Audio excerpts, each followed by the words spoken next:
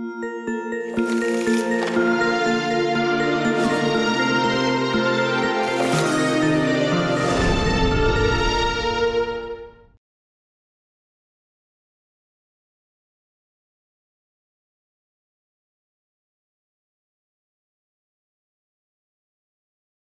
那托尔干我写过两本小书啊，一本讲这个分工论，一本讲自杀论。但是今天的知识社会学要讲到的托尔干，大概都跟这两本没有什么太大关系啊。呃，这也是呃本来想写第三本就可以写这方面的主题啊，但是毕竟还是没做。那不过托尔干对跟呃知识社会学比较有关系的是两本书，一本是他的呃。那个呃，宗教生活的基本形式，或有的写成原初形式。另外一本呢，是他跟他的外甥啊，他算舅舅啊，合写的，叫马马塞尔莫斯合写的原始分类啊。这篇文章的标题名字很长，但是我们通常只用了这个四个字啊，就原始分类。这是英译本啊，这是中译本啊，都不厚啊。英译本有一半呢，这种厚度有一半是这个。译者前言啊，所以这本书其实是一篇长文章而已，并不是一本书啊。那这个中文本好像没有把，呃，对，中文本直接就把英译者的去掉了，就是啊，有有在摆在后头啊，呃，然后做正文在这里啊，所以这本书不不厚啊，但这本书很有意思啊，因为这本书的问题很大啊。那要不是他是托尔干写的这本书，大概。你的博士论文或者你的 term paper，大家都会被老师骂到臭头啊，呃，所以有时候当大师的好处就讲，这当大师呢，你写的再烂的东西，人家都认为那是大师啊，或是呃大师青少年少轻狂之作啊，所以好歹还可以被原谅。你不是大师啊，你写的东西就会被吹毛求疵，甚至人家连看都不看啊，吹毛求疵都不会。那这本书他一开始他就说啊，逻辑学家跟心理学家通常认为。分类的程序是简单的、天生的啊，至少受到个人能力的影响啊。人类对外在世界认知啊，有些人认为第一开始就是分类啊。呃，在如果在西方来看圣经啊，他上帝花了六天时间造天、造地、造人世的一切现象，那个呢就是分类的，很多跟分类有关啊。嗯，他说为了解答这些，呃，人们为什么将思想做如此分类？为什么这样做？他说：“我们必须研究人类所做过最基本的分类，发现是他们由什么样因素构成的。所以，我们从人类的文化去追追溯它最当初的样子啊，可以呃找到答案。这是他的看法。呃，要找到答案啊，到底是追溯最当初的样子，还是要追溯后来成熟的样子？这有两种不同的研究策略啊。”托尔干的做法是追到最我们已知的最当初，这当然不一定是人类的最当初，而顶多只能说我们现有研究的最当初。他认为从最当初可以看出最纯粹的样子，然后可以呃找到影响他的社会因素啊。那像马克思这样的人呢，他就是在呃呃《资本论》的后至少第七章的研究里面，就是要研究最成熟的样子，就是不是最当初样。他要研究资本主义当时啊，资本主义生产方式当时最成熟的样子，可以看出整个呃制度的或者社会因素的运作啊，所以这是完全两套不同的策略。各位在写文章或者呃，你看老师在做研究的时候，他选一个对象，有的人就会从这个电对象刚开始的时候，潮流还没开始，将要开始的时候，会从这里。有人会研究一个已经消逝的对象啊，这样子你的材料会比较完整啊。这样历史通常研究的是一个比较完整的结束的现象啊。那正在发生的现象通常不太会去研究啊，所以这个也跟这个有关。所以他为什么要研究原始分类啊？然后当然你现在马上想，那原始是什么样的原始？啊，托尔干在这个十九世纪末期、二十世纪初期，他能有什么资料来提供他原始的分类啊？这你要这样想。所以呢，他找到了啊，在当时托尔干没有做过任何经验研究，他没到过任何一个地方去，他做的都是文献研究啊。所以他说澳大利亚分类系统，这他看书看来的；其他澳大利亚分类系统也是他看书看来的啊。祖尼族跟苏族，这是美国的呃原住民，这也是看书看来的。中国的部分，那更是看书看来的啊，所以在那个时候光看书是能做学问的，现在看书也能做学问，也不是说不能啊。那不过大部分的至少在台湾的社会学，大家都会强调你去做一下这个田野啊，这话以前只有人类学的说的啊，现在田野田野讲了半天啊。呃，社会学也讲的非常多啊，民族志以前也只有人类学说啊，然后现在社会学好像不做民族志，就好像也不是直性的研究啊。那当然，除了量化的或者做这个呃量量化的研究的人，这这不是问题啊。量化研究现在问题比较大，是大数据的问题啊，要大数据那抽样怎么办的问题等等等等啊。有时候不需要大数据啊，抽样就好了啊。呃，所以有很多研究方法上不同争议，但不管在这里，他就说有四种社会啊，这也可以对照他在呃啊社会学方法的规则里面说到的社会演化的形式，这些都是他认为的最原始的形式，最 primitive 的形式啊，所以叫原始分类，不是成熟的分类啊，你要这样想。好，那他澳大利的澳大利亚的分类系统呢？他找到的研究有 by moiety，moiety 是偶族，这两个族并成一个，两个族在一起才变才是一个完整的族啊。他就看结婚的情况，这个 marriage class A 会跟 marriage class B 合起来，他们这是一母，一母是一种鸵鸟啊。呃，现在是怎么翻译我忘掉了啊？就你你输入一母，就出现一个图片在 Google 上面，就是那种鸟，就叫一母。那还有 snake 啊，这蛇了啊。Caterpillar 啊，这个是那个蛹嘛啊，蝴蝶的那个那个原来的形式啊，像这个就是偶族，这两个族会在一起通婚，这样这叫做 moiety 啊，发文也类似的东西。所以这个啊，另外一个 A plum 跟 B plum，它就是 kangaroo，kangaroo 是袋鼠嘛啊，那 opossum，opossum 什么我忘了查，crow 是乌鸦啊，所以以前这些图腾都是用这个呃来代表某一个呃部落的人啊，都是图腾。所以有人后来就根据这样的知识说啊，原来龙大概就是中国人的图腾啊，那不一定是真实东西啊，呃，所以这是呃从我从有人类学的观念以后，他就所以这是原始分类啊，这是原始分类的一种啊。那他还有讲到像白令结合的部落啊，这个呃昆士兰马凯港的部落，还昆士兰中部，这都是别的人类学家去了以后。所写的报告，他看了报告所做的东西，那我我对这方面就一无所知了啊，只能告诉你说这些部落的分类啊，跟前面偶族的分类一样，是个这个呃比较原始的分类。那这些分类呢，通常是二分法啊，Moity 就是偶族也是二分法，by clan or totem 也是一个二分法这样啊。然后讲到这个冈比耶山的部落也是一样，新南威尔斯的，这都是澳大利亚的地方跟情况啊。所以呃，你有兴趣，你当然再去研究啊；没有兴趣，大概知道一下就好。然后以图腾或者叫次级图腾为基础的分类，包括氏族的部分化啊。segmentation 是图尔干的一个呃概念，在社会学分这个。社会分工论里面，他有讲到这个机械分工跟有呃机械连带跟有机连带。机械连带其中一个特质就是像这个蚯蚓的环节，这这它叫环节动物，我记得啊，你就把每一个部分切开都是一样的。所以虽然有蚯蚓那么长，但是每一个环节的那那个横剖面看起来都是一样，那个叫 segmentary society 啊。所以他用这种部分，就虽然它分成不同部落，但每个部落看起来都是一样的啊，有点类似这样的类比啊，这就是有机体类比的一个。因为当时最盛的是生物学，所以很多生物学知识就拿来啊发展这个社会学的东西啊。还有他说有连续不断的过渡阶段啊，过渡阶段通常都是连续的，有时候只是为了说的方便啊，好像你早上有一天早上醒来，世界就完全不一样了，没有这一天的了啊。这是研究历史的人可能会这样讲。啊，但是实际过的话，每一天都跟前面一天跟后面一天大概差不多的啊，自然环境太阳还是依然升起的啊。然后他说托若海托瑞斯海峡的岛屿部落这些，就他的名字提到啊，那这些就是澳大利亚的系统。那好了，讲完澳大利亚系统，它这个有一个强调人类的文明的一个统一性的问题。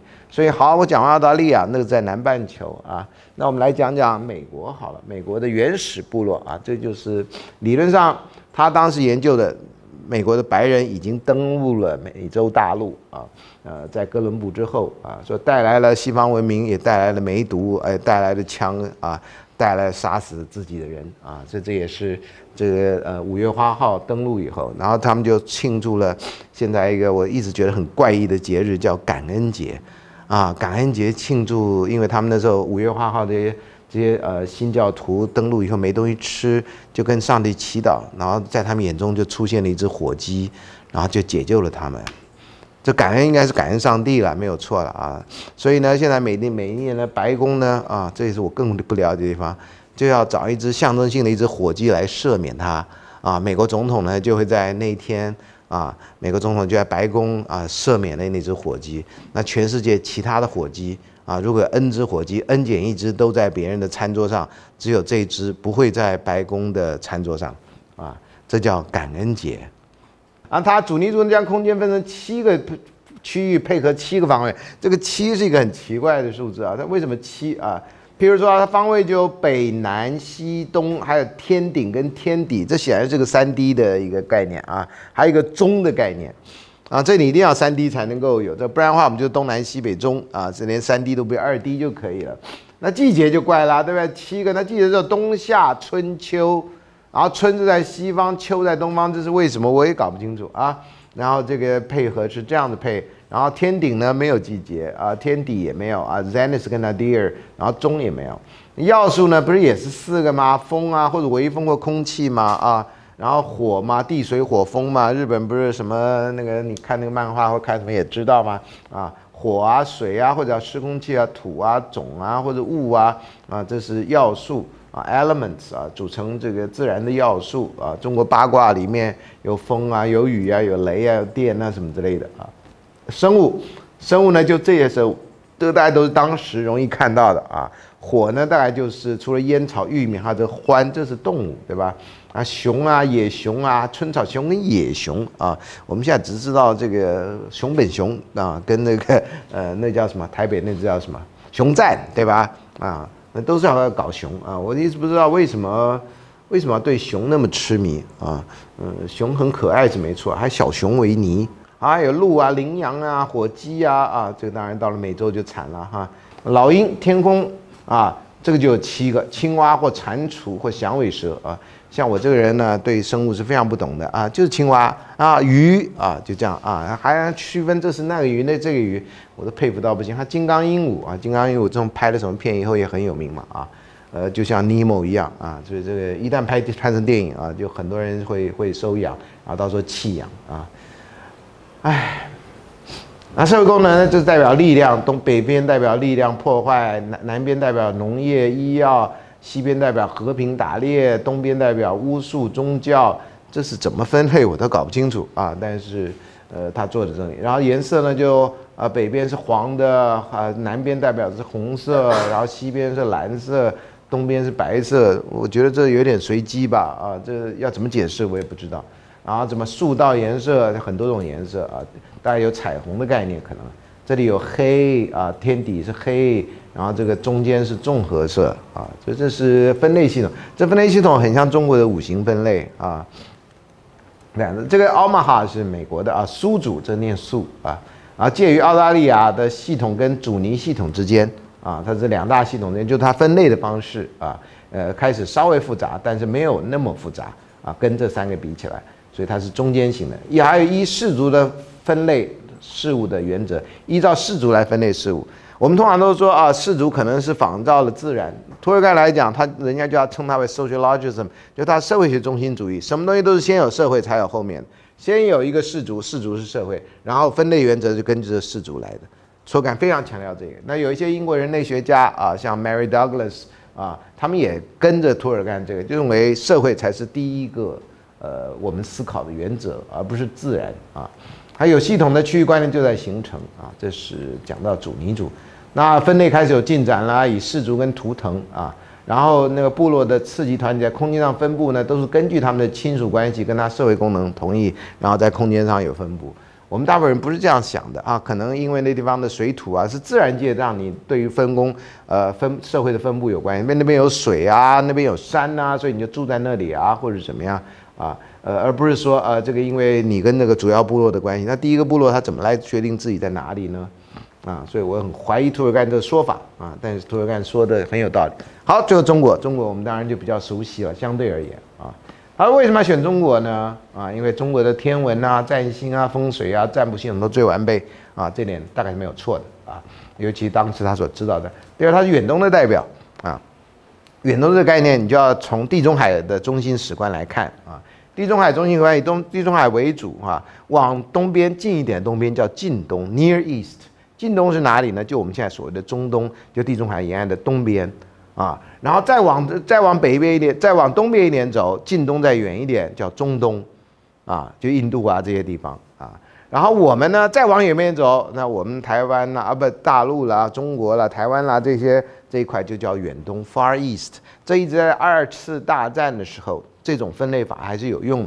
所以呢，呃，那时候的蒋介石委员长率领的是远东战区的最高总司令，叫 Generalissimo 蒋蒋开 check 啊。所以远东这概念一直到了后来，当然以美国为中心，开始我们就是呃东亚啊，而不是哦有时候叫亚洲，有时候叫东亚，几乎都不叫远东了啊。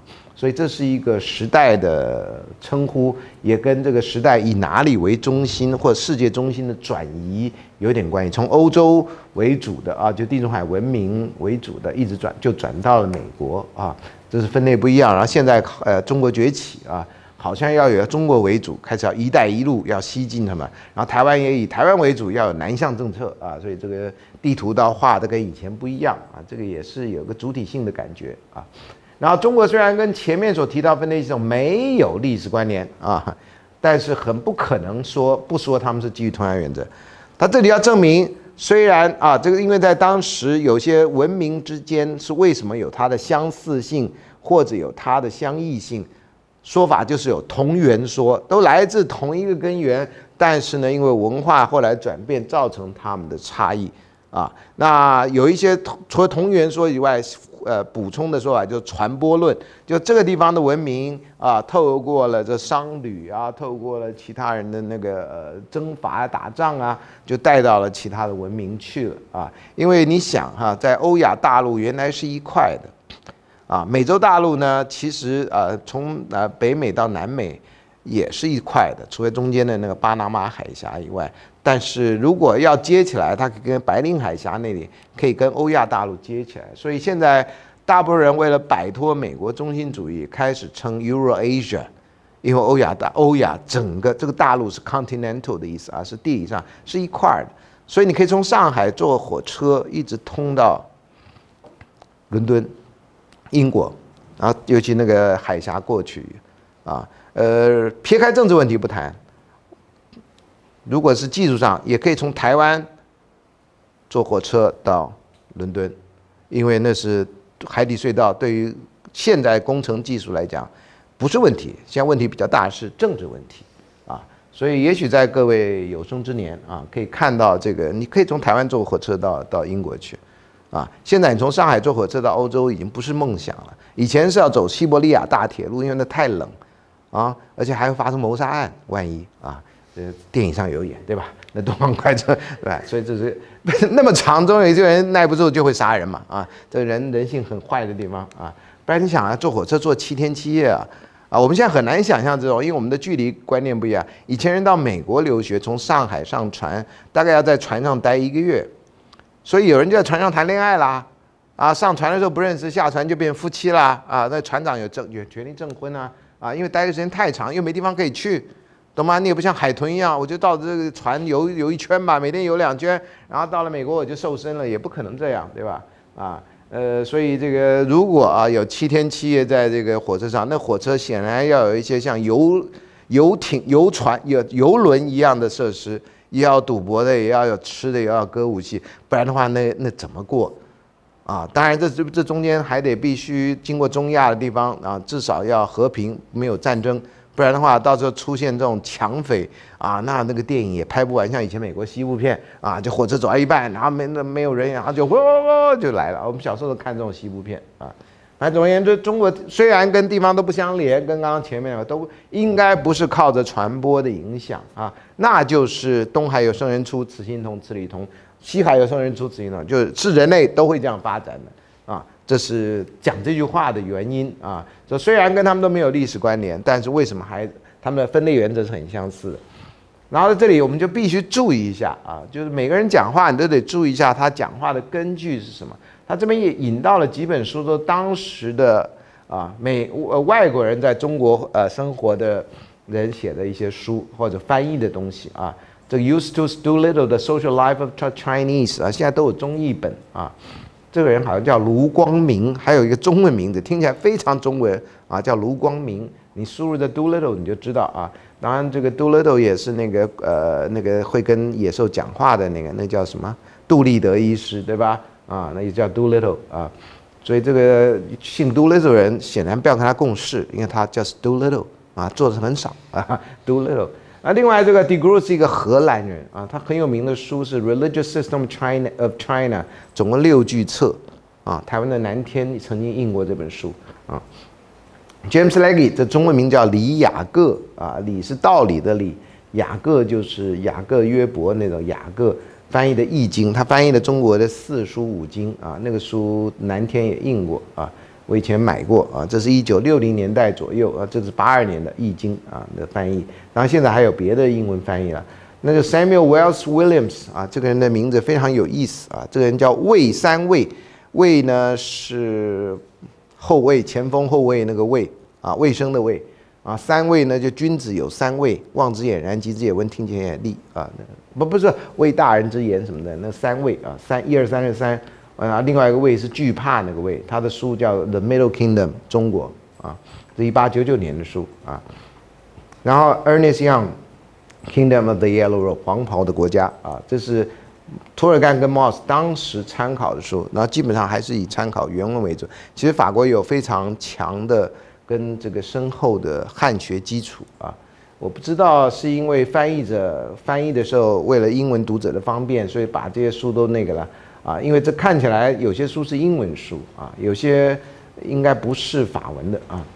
好，那中国的那个方位颜色跟动物是有关系的啊，譬如说我们大家现在人也都知道东方苍龙啊，就画一只龙，对吧？苍是青色，或有时候是绿色，因为讲青色有时候不太确定是蓝色还是绿色啊。南方是朱雀，朱是红色，雀是一个这个呃鸟类，对吧？禽类。西方白虎，对吧？啊，白色又是一只虎啊，好像是孟加拉虎还是什么虎是白色，还是东北虎我忘了啊。北方玄武，玄是黑的啊，玄是黑的，然后这武呢是乌龟的意思啊，所以有这个中国历史上有唐朝著名的玄武门之变，就是在北面的门啊，这个很很那个，可是没有白虎门之变啊，也没有朱雀门之变，也没有苍龙门之变，这我觉得很奇特。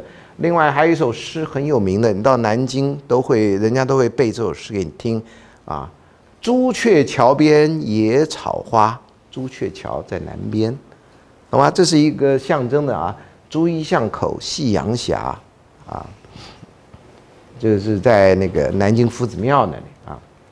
好，那中国的四象，东南西北八卦啊，五行五星。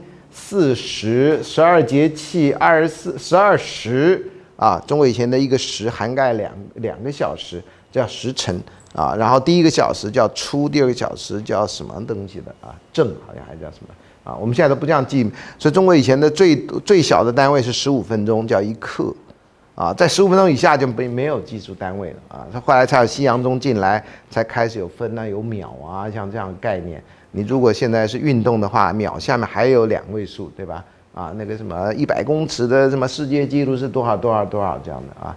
二十四节气、十天干、十二地支、十二生肖，这是经常用来你几乎都知道的啊。大概在中华文化影响之下，没有人不知道。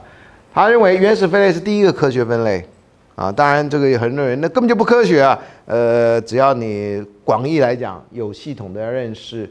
一个是一个一个知识，有系统的认识一个知识啊，有系统的就算是科学。简单讲，说两者是连续的，相同点呢就具有层级观念的系统。一啊，这里有层级观，system hierarchicized notions 啊，都不是要促使行动，而是要了解事物之间的关系，以连接概念啊，整合现有的知识。那出于来说，这就是科学的，而且构成了第一个自然哲学。Philosophy of nature 或者 natural philosophy，在欧洲文艺复兴时代，natural philosophy 就被就等同于我们现在啊所想要知道的科学啊，是 natural sciences 可以等同，但不完全是一致的啊。好，这跟所谓的科技分类是有差别的啊，他自己也有讲啊。这这个是 N 一就是第一个角注啊，这个特别注意一下，就第八十一页第一个角注，有的就把这个逗点去掉，就八十一 N 一啊，就是第八十一页的第一个角注啊。然后另外呢，讲到自然与社会，刚刚讲到叫社会中心主义 （social centrism） 或者有时候叫 sociologism 啊。呃，它自然的第一个家伙不是个人，而是社会，被客体化的正是社会，而不是人。这点是一个他的基本的假设或他基本信念，这不能怀疑的啊。涂尔干就是以社会为第一个那个啊，所以在涂尔干的思想里面，其实后面我们都会讲到，其实他的社会就等于道德，就等于宗教，这是三位一体的。啊，然后从呃呃弗洛伊德来看，这个宗教基本上就是你爸爸，啊，就是一个恋父情节啊，所以你是为什么社会有宗教？然后宗教的形式基本上是一个父权的形式啊，为什么那些上帝怎么样听起来都是一个男人而不是个女人的形象啊？呃，照道理如果是超自然界不应该有性别的，他们应该是超越性别的啊，那这性别是怎么转换？你知道这个印度的菩萨？特别是呃，观世音菩萨还是什么？原来说是男的，在宋朝以前，后来到宋朝以后，中国人觉得观世音菩萨的那种慈悲为怀，呃，大概这比较适合女性气质，就后来菩萨就变成女的了，啊，所以这个原来是在形象上面是个男性的装扮的，就变成女的啊。当然，你从这个它是超自然的存在来讲，或它更不存在来讲，它是男是女根本就不重要。啊，但是就那种慈悲为怀的形象。另外一个呢，观念叫集体心灵。这集体心灵，各位还记得在 Mark s h i l l e r 的时候，我们好像讲到过啊，collective mind 跟这个 collective soul 是不是啊？还是 group mind group soul 啊？这有点类似。它正是集体心灵的状态产生了这些团体啊，有一个集体心灵这样东西。而这状态之在外显上是情感的，事物之间人跟人一样都有着情感的亲近性。就叫 sentimental affinity 啊，正因为这些亲近性的不同而有不同的分类，所以这里面强调那个分类是有它具有重要情感性。那我们后来的社会学的研究，大部分都是强调理性的部分，很少强调这个呃情感的，所以是有点可惜的啊。然后事物呢，因为他们对团体情愫这个 sentiment 啊，这个字这个字有点特别啊，因为这个字的一个好处是它英文跟法文的形式是一模一样，意义略有不同啊。你现在讲 sentimental，就是这个人有一点滥情，啊，在二十世纪初期的中国文学家是谁呀？徐志摩还是郁达夫啊？就好像有人翻成三提馒头什么之类的啊，就是 sentimental，把它翻成很烂 啊，一般是翻成滥情，有的音译是翻成那样啊。那法文的呃 sentiment 啊，同一个字啊，念法不一样啊，就稍微不不一样。情愫通常是指道德里面或情感里面比较高超的部分，比较。呃呃，合乎社会要求的部分，那对团体的情愫不同，影响到他们本质，而且会因社会而异。这强调重点都在这里，啊，如果是马克思，大概就是音乐生产方式啊，或生产工具啊而已，它是因社会而异啊。呃，但社会具体是什么啊？如果社会是从马克思观点来看，是一群社会关系的整合，或者是一个经济基础的总和啊，那好像差别也不大。如果真要说啊，好像也没那么严重差别。说概念的情感价值在思想的分合中扮演着极为重要的角色啊，这概念的情感价值不是概念哈，是概念的情感价值，所以分类的时候是以它的情感价值为主啊。另外呢，概念是一群可以加以决定的东西，它的范围可以很精确的加以划定。相反的情感呢，却在本质上是流动的跟不一致的啊，它的影响超过了起点甚远啊，扩及其他的周围的事物，所以很难断定它的宣传力在何时停止。所以讲到概念跟这个情感的这个差别啊，然后情感呢在本质上很难加以分析啊，呃，最近才社会学界大概近十年二十年才开始有情感社会学 （sociology of emotion），以前没有啊，所以以前的社会学看就听起来比较枯燥啊，呃，不太觉得情感在社会生活中的重要性，甚至有些科学家认为不要情感才是人类的最高极致表现，结果当然发现不要情感，那基本上就是 AI，跟 AI 差别在哪？人如果没有了情感，还不如 AI，啊，因为 AI 的知识它能够记载的地方真的比你多。人要是没有情感，没有创造力，人的特质就不见了。所以你要维持人的特质，如果啊，这这这继 AI 继续发展，那你大概就能在情感上面跟在这个创造力方面，这是人也还可以保留。如果连 AI 都有创造力啊，听说 AI 可以画画，可以干嘛啊？如果连 AI 都可以有创造力啊，AI 可以组合什么的话，那人还剩下什么情感？那万一 AI 也有情感，那人还剩下什么？我真的就是会被插一根棍子拿去当啊，还好 AI 不用吃东西，不用上厕所啊。这是那个美丽的世界里面不会有臭味的地方啊，只有我们这些臭人类啊。那人类好臭，不过他们应该也没有嗅觉啊。好，所以这个当地具有集体起源的时候啊，就很难加以判理理批判的以及理性的加以分析。所以在以前对情感的看法，都认为情感会让理智失去作用。没想到情感其实你创造力有很多要情感在里面啊。呃，有时候人家问我说，什么样适合念书？我说就是要有那种热情，热情不灭的人就适合念书啊，适合教书。不然的话，教书是一个很很挫折的过程，因为你念了半天不一定懂。第一个，第二个，然后你觉得你懂了，你要教给别人，别人不一定听。另外，社会压力跟个人思考，团体对于成员的压力，使得个人无法自由自在判断社会本身所孕育的概念，以及社会对个人人格的影响。啊，很多时候呢，你你的想法其实是社会给你的想法，你想法其实是意识形态，不是你想的啊。呃，因为现在网络很多意见，网络上你是网络上意见，你自己本身没有培养意见。像我自己在念大学之前，或者在台湾，基本上我觉得我功课就算再好，我很难觉得有自己的想法。虽然老师都说，哎，要培养独立思想能力啊，当时又是戒戒严时期，所以这讲的都是白讲，因 为讲了你也不知道什么叫做。自由的思想啊，呃，大陆的学者啊，这句话很重要，叫独立之精神，自由之思想，我觉得这是很重要。嗯，到美国你可以感受到，在台湾感受不到啊。回来现在当然比较好一点啊，因为解严了以后，呃，是比较好一点。呃，但是你还是看到很多人讲法，其实识外国人牙慧啊。你多读一点书，你就知道这个人也没什么想法呀。你看一般的教科书都是讲别人讲的。啊，也有这个阶段呢，我也有这个阶段啊，不是说只有别人有我没有啊啊，所以你要有创意，真的是不太容易的事情啊。你创意还要被你周围人接受，那是更不容易的事情啊。所以这个社会对影响就在这里啊。这各位如果要做一件呃违反社会习俗一般概念的事情，也要受到很大的压力啊。这都是一样，这些 construct 就所谓建构啊，对于个人而言是神圣的啊。因此归根结底来说，我一直很。在乎归根结底这句话，因为从这个恩格斯讲了以后啊，那什么时候是归根结底呢？什么时候是那个最后呢？啊，好，呃，科学分类的历史就组成的社组成社会感情，它叫 social affectivity 这个字，你去找老外了，一般老外也不懂这个字了啊，所以你不要说这个字啊是一个什么什么很奇怪，但这个是实在是没办法的办法啊。affect 是个情感，但 affect 也有时候也可以当动词用。所以你要把它名词化，只好加上这个东西。那这个呢是情感，你说可以用 emotion 呢，叫 social emotion，也有人用，但是有人觉得我要用一个没人用过的字，对吧？叫社会情感啊。社会情感的因素逐渐衰弱的阶段历史，使得个人的反省思考更多的空间。所以他认为科学历史是你社会情感越来越少。其实应该讲说非理性的思想越来越少，社会情感未必是坏事啊。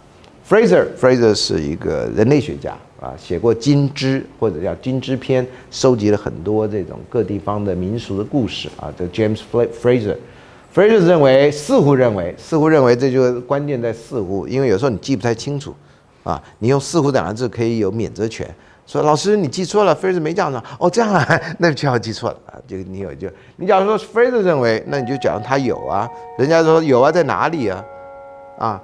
不是马克思也干过吗？呃呃，黑格尔在一个什么地方说过？什么地方啊？啊，那个苏东坡也干过啊啊！这这考卷的时候写了一个典故，考这个改考卷老师没听过啊，饱读诗说没听过，你你那典故哪里来的？所以苏东坡讲了一句，后来很有名，叫想当然而然，应该有吧？那在哪儿啊？就没有嘛？你掰的嘛？你掰的，然后你又不愿意承认，对不对？啊，那苏东坡因为他是名人啊，所以这句话就变成是雅谈呐，而没说不诚实啊，这人，这人怎么能录取他呢？啊，没有嘛，啊，所以你这个苏东坡就在历史上变成，哎呀，这个人好风雅呀，啊，讲笑话就可以不，这这不不老实事情就可以这样被被过去了啊。好，它实际上是后者替呃前者替后者，前者就社会关系替事物间逻辑关系为解。大部分都认为有个逻辑关系才有事物关系，它不是，是先有事物之间的关系，以后人的社会关系才决定了逻逻辑关系。这跟我们一般的想法是颠倒的啊。好，社会不仅仅只是一个分类思想所遵循的模型而已啊，不仅仅哦。正是社会本身的区分被当成是分类系统的区分，这他的最伟大的发现，也是最让人摸不着头脑的发现。那这社会怎么来的？社会就鲜艳的，先于你经验的。这你想都不必想，就是他的假设，懂吗？你要你要相信托尔干，就知道社会是第一的，其他没有了。不是上帝，是社会。社会就是道德，道德就是宗教。OK，三位一体了，就这样，你就可以从这里开始。你要一直卡在这里，你就不能了解托尔干了，懂吗？第一种事物是人的分类，正因为人被分类，所以从团体的形式来看待自己，所以在思想上，他们对其他事物的分分别类，在一开始这两种分类是很难区分的，啊，呃，社会学里面啊，在很早的时候就发现了有所 we group 跟 they group，就我群跟他群的问题，啊，这个小孩一生下来，你问问他，学到不久，马上也会教到，哎，我们跟他们是不一样的人，啊，所以这我们你们。啊，这个字马上就学到了。每个你学每个语言，大概都要学你我他你们我们他们，大概都要学这种东西啊。不仅是同类的外在形式，而且他们之间的相互关系都有社会的起源。说半天就这个观念，所有的起源都有社会因素，而且都是跟着那个社会关系来的。逻辑层级只是社会层级的另一个面向，而知识的整合正是整体的整合，扩及整个宇宙。这话都空话啊，因为没有什么太大太多证据。就你要想抽象的思想，像时间跟空间。在历史的每一个点上，都和相对应的社会组织有密切关系。时间空间不是一个独立于社会组织外，这跟康德的想法、跟呃呃亚里士多的想法是完全违反的。亚里士多认为这范畴是没有，是是是生下来就有的，就是你的这个叫什么？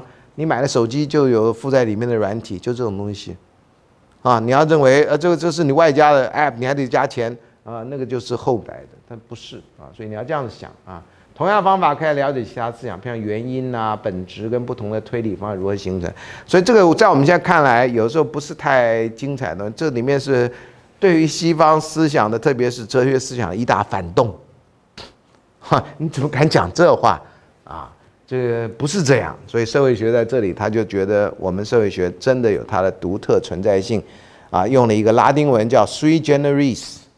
啊，就是独特性或者它的特殊的地方，或自成一格啊，这个 three generate 就这样。所以社会是一个特殊的单位啊，特殊的存在，那个不是组成的个体所可以可可以可以化约成组成的，不能这样。所以它这个叫做方法权上集体主义，它跟那个 Spencer 的说法又是不一样的啊，所以它很多不一样啊，所以说当时要这个很多不一样，当然就可以有个鲜明的旗帜。但是你说要跟呃，这别人就很难认同你啊。这个图尔干认为社会学有存在的理由在这里啊，社会学不能跟心理学没关系，在这里啊啊，这图尔干好对此书的主要批评通常是那个译者的批评啊，所以就告诉你怎么批评别人啊，还有被批评了半天不要觉得很难过啊，有的时候人家要批评你，表示你还值得批评。好，方法上呢，他们举了很多例子，缺乏社会形式跟分类形式的呼应。就你可以拿纸质毛公、纸质盾了啊！我们自己写文章也是这样，然后批评别人文章一样，你的例子跟你就你的证证据跟你的立论之间，你的 argument 之间是不是贴合的啊？不贴合，那你这证据当然就不成立，你的例子也是白举啊！简单讲啊，第二没有考虑到共辩，共辩这东西呢，其实是在 John Stuart Mill 的呃 systemology 里面有。图尔干在社会学方法的规则里面也有提到这个共变的因素，这共变就是后来的这个相相关因素的一个前导啊，跟后来的回归分析啊什么什么呃统计里面是相关的啊，就是因果分析了啊，两个变两个变相或变量之间的关系，他还忽略了反面证据，大部分你只要把这忽略反面证据认真看一下，大部分研究全部忽略反面证据。所有的，包括纯粹的历史研究，还有那个，都尽量忽略反面证据。很多人看到反面证据说啊，这是这是例外，这例外，我们不要考虑例外，啊，所以你就就可以一个眼睛就这样过，因为不然有个例外你在那就很麻烦呢，啊，你做统计还好啦，百分之八十几，啊，少一个百分之八十二点四，啊，降成百分之八十还 OK 啦。如果有一个是考虑的例外，你就不成立了怎么办？就像选举少了一票你就没选上怎么办？我觉得有时候有这种奇怪。那当然有些人忽略是因为他不知道，有些人是知道不用，这两个是完全不一样的啊。这人家没有考虑到，而且忽略，他怎么知道涂尔干忽略反面证据？你后来的人可能看到东西比他多。所以你觉得你可以看到反面证据？那除非涂尔干，我们刚刚讲的，譬如举例来讲，中国那些中国那些东西，有些讲法跟涂尔干是不一样，那他当然负面反面。你为什么看一本书没只看到正面没看到反面？如果你要说另外一本书他没看到，那你怎么能讲他没看到？他可能真的不知道啊。我们现在资讯那么方便，偶尔有些事情我还不知道啊。像我以前教涂尔干有一次。说出了一本新书，还出了五年一个新译本，我竟然不知道。然后写自杀论的时候才发现，有一个新译本，还好也没什么太大影响啊，因为我要论断跟这译本没有太大太大太大关系啊。那这忽略反面就忽略新的出版，所以这有时候也是一个，也是一个有时候太吹毛求疵啊。第三个说，假定在某一个时间某一个社会只采取一种分类方式啊，这种假定，那可这个假定有什么错呢？如果那社会。很多长时间没有什么太大改变，这个有什么错呢？啊，还有他们在学方法上不举证，这个是比较大的问题，啊，就自由新政，或者他觉得他讲的就说不举证的事情，很多就是一个信仰的问题，不是一个真实的问题，啊，这个大家要注意的。哇，很多人讲话也是日常生活讲话，当然不必举证啦，哈，那不然怎么讲下去呢？啊，但在做学问，很多地方不举证是一个很大的问题。接下来最后一个，他说认为思想的情感价值是分类中最重要的特质，可在正文中都没提到，在结尾中略微提到。那这个叫做研究限制或者未来研究方向。现在很多人讲，这不是什么坏事啊，就是我们这篇研究啊，这这这是一篇文章，我们这篇研究发现，哎，其实情感价值很重要。也许我们在下篇或者其他有兴趣的人可以遵循这个去发展。我觉得这个不是方法上的一大问题啊。就你研究完了，你才知道，而不是你一知道的时候，你明明知道很重要，然后你不去研究，那这问题会很大。还有两个批评，社会跟符像分类，这符像我是翻译 symbol 或 symbolic 啊，因为符号跟象征两个字可以翻在一起啊，中文有这个方便性。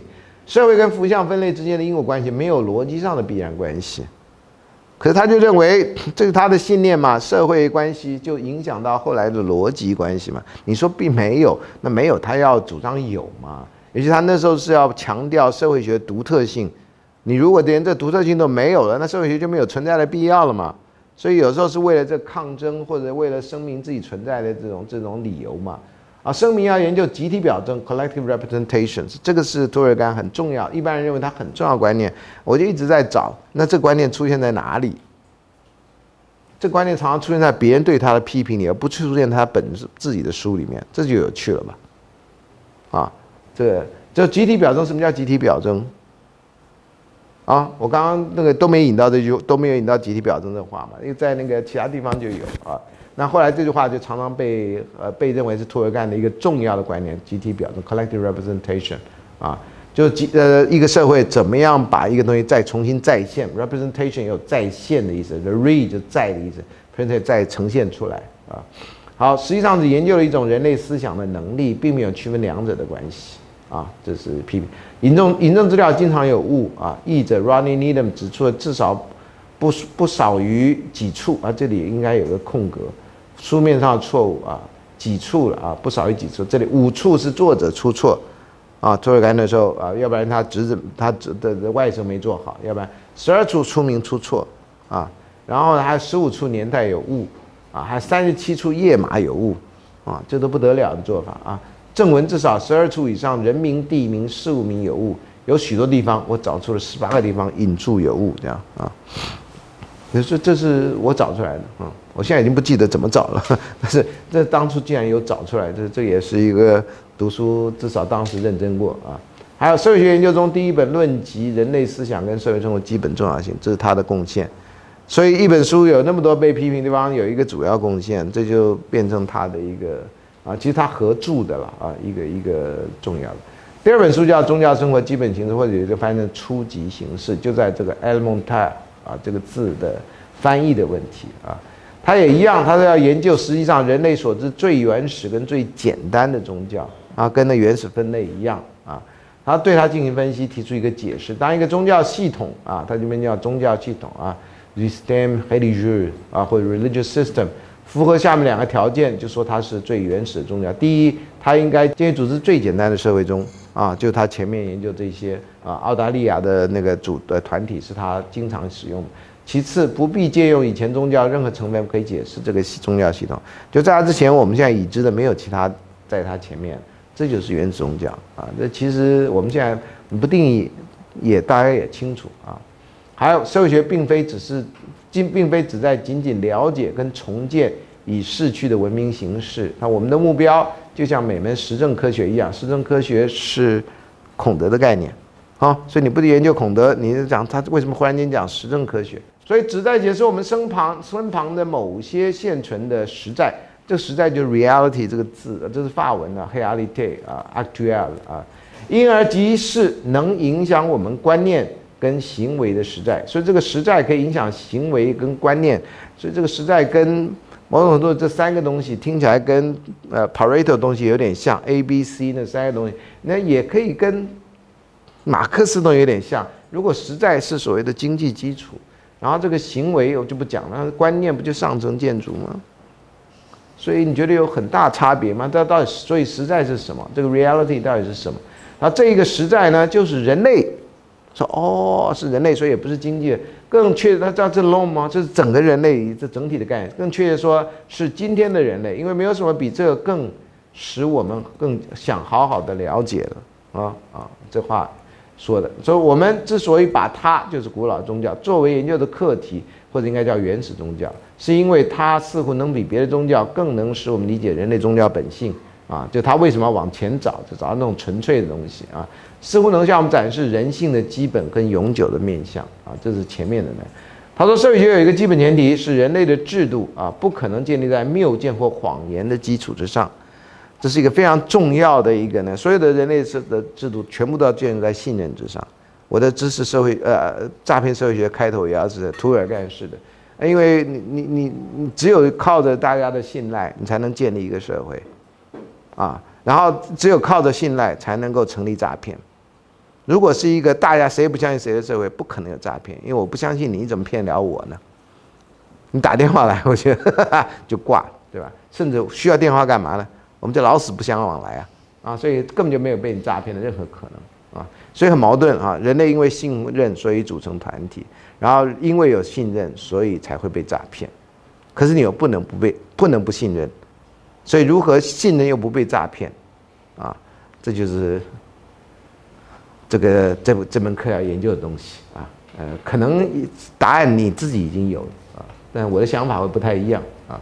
好，没有这个前提，社会学就不可能存在啊，所以不啊，所以这是一个人类社会组成的一个重要因素，其实就是信任。不要小看这个，你从两人谈恋爱的关系是这样，你为什么要跟那个人谈恋爱？因为你相信他会爱你啊，那些不相信他爱你，根本不会去跟他谈恋爱的。啊，不管他多帅多什么，不可能嘛，对吧？或者你会跟一个要骗你的人谈恋爱吗？你会跟一个骗你的人生活吗？啊，我想这个对于外遇的不能容忍，很多都是因为你骗过我啊，啊，所以各位不要小看欺骗这件事情，欺骗这种事情有时候对我们最亲爱的人，你最好一辈子不要用这个事情，你用了这事情以后，世界上还有什么人是不能骗的啊？好，没有这个天机，社会学不存在。如果社会学不以事物的本质这句话，经常在很多当时书看到。什么叫事物的本质啊？为根据的话，那么就在事物面前遭到绝对克服不了的阻力。听起来这事物非常的倔强啊！你不看我的本质吗？你不看我本质，我就不跟你来往，嗯，我就抗拒你啊！所以我们在着手研究原始宗教的时候，我确信是他们与实在啊相联系。这实在就刚刚讲的现实啊。呃，是表达了实在的啊，实在的啊，这个 reality 那个字啊，这个原则在下文中讨论啊。好，实际上没有一个宗教是虚假的，这句话也是一个很重要的。他说宗教没有假的吗？难道真有上帝吗？不是这个问题啊，因为一切宗教在自己方上都是真实的啊。这个跟社会学的一个很早的发现，这个美国人的发现，W.I. Thomas 啊。这个 Robert Merton 说的叫 Thomas Theorem，就汤马斯定理啊，不是开火车的，不是那火车头汤马斯啊。汤马斯定理就是说，假如你界定一个情境是真的，这个情境就会有真的效果啊。你走进一个地方，他告诉你这地方鬼屋哦，闹鬼哦，你马上就觉得呃毛毛的嘛，这不讲吗？然后没有告诉你说啊，这地方是皇上住过的，怎么样？你就觉得啊，这样富丽堂皇啊，啊，所以他说这方是真实是这样，他们以不同的方式对人类生存环境做出反应，是宗教是这样啊。很多研究社的宗教社会学人经常被问到说，老师你信教吗？啊，说信或不信啊？你信了不会对于你自己的宗教比较那个对别人宗教的那个吗？啊？呃，有些宗教学，呃，信教人确实有这个问题啊。如果机会去看，有一本书叫《比较宗教学》啊，是北投法鼓山的呃正言法师呃圣严法师生前所写的啊。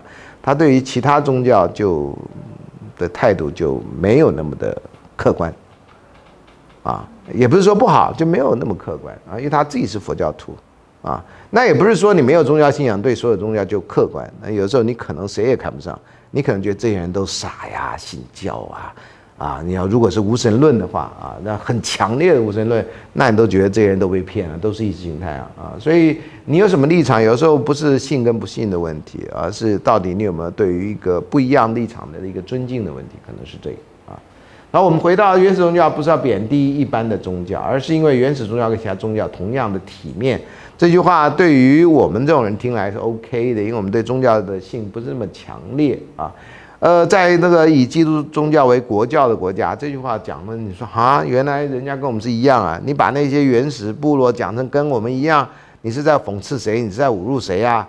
啊，所以他不知道说我们研究者是把它视为一样，因为他们体现了同样的需求啊。那原始部落的有原始部落的需求，我们现在现在需求。扮演了同样的角色。这以前早期的法，这个字法文字上面有这个道的 V 的符号，在早期英文的脉络里面也都一直写写 role 的时候也是这样写。大家在二次大战以后，这个上面的符号才去掉，所以它变成一个道道地地的英文字，就写 role，就没有这个音符啊。而取决于同样的原因 cause 啊。同时也能很好的展现宗教生活的本质，因而能解决我们所要研究的问题。所以这里强调原因，这是从亚里士多德一路以下来的。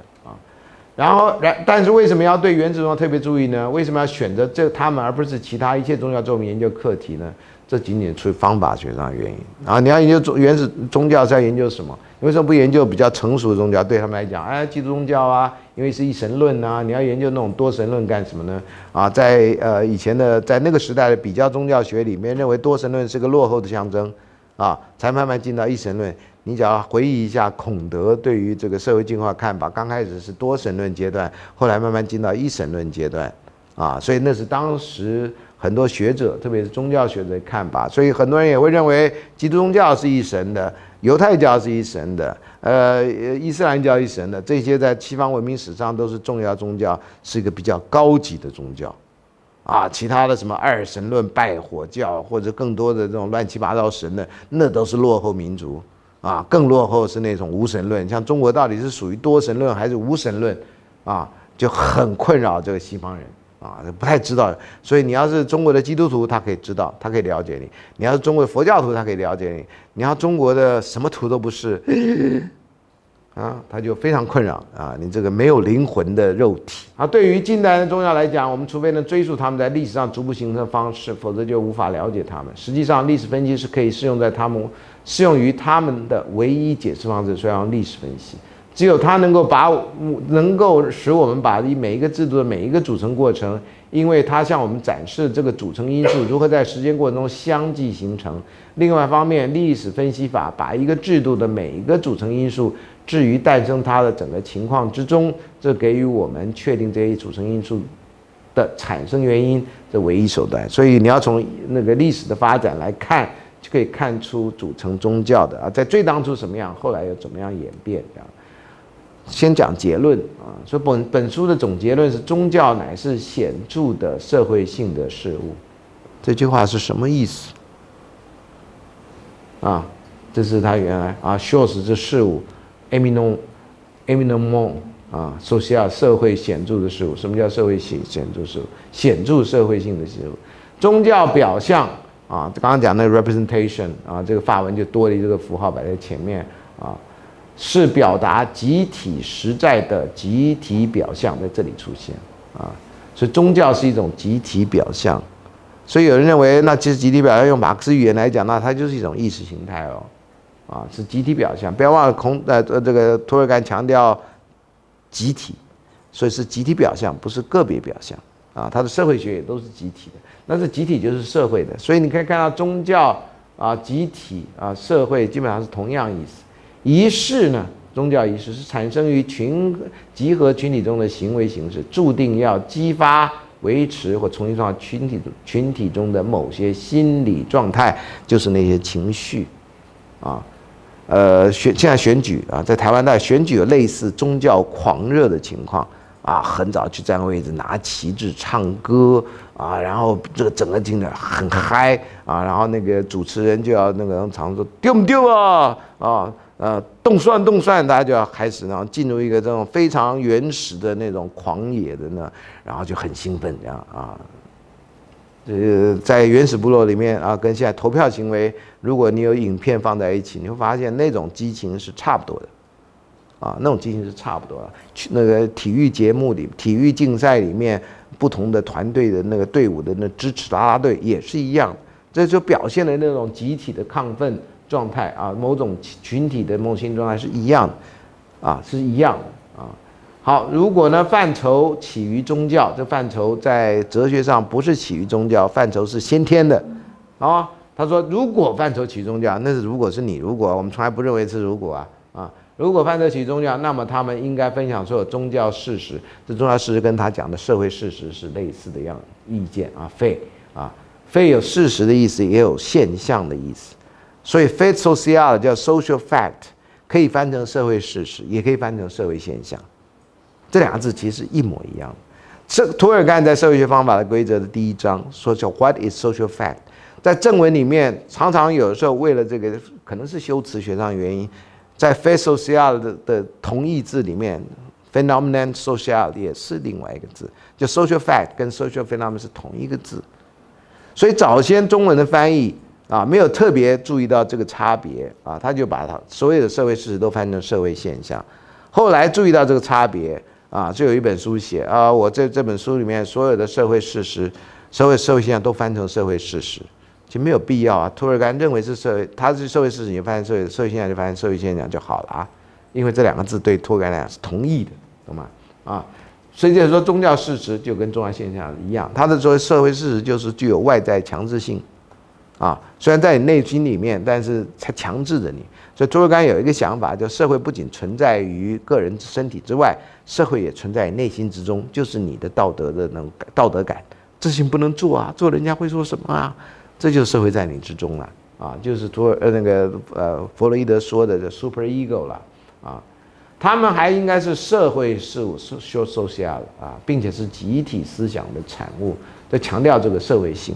所以这个宗教基本上就是一个社会性的代表，啊，然后他说还提到时间安排基本上也是社也是具有社会性的，啊，为什么有一阵子我们需要什么十二节气啦、二十四节气啦，啊，我们有一年有三节，现在不管在哪里，东方人几乎都在过，啊，我们在美国念书的时候基本上都不太记得这个，就是因为圈儿上有一些人啊会过，你就知道啊，今天中今天是中国过年啊，我们在美国过日子都不知道中国过年。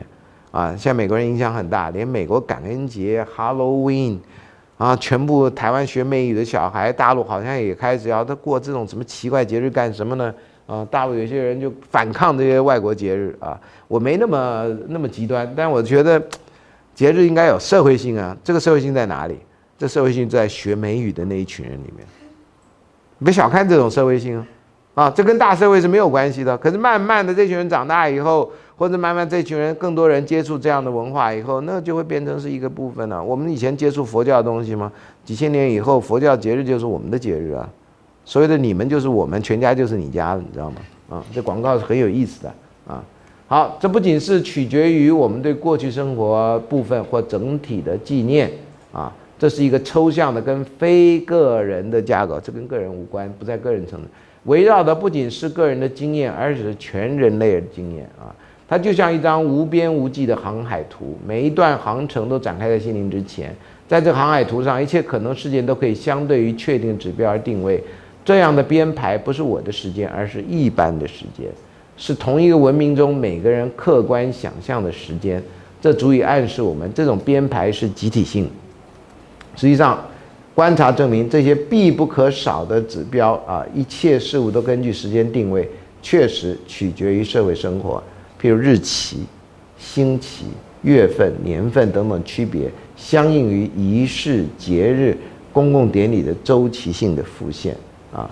日历呢，表达了集体生活的节奏，与此同时，它的功能又确保这些活动的规律性啊。所以你看，西方圣经开始就是七天，七天然后休息一天，所以后来周休二日要休息的时候就很尴尬，因为上帝不规定这个。然后呢，通常你要是不休息，这也很尴尬。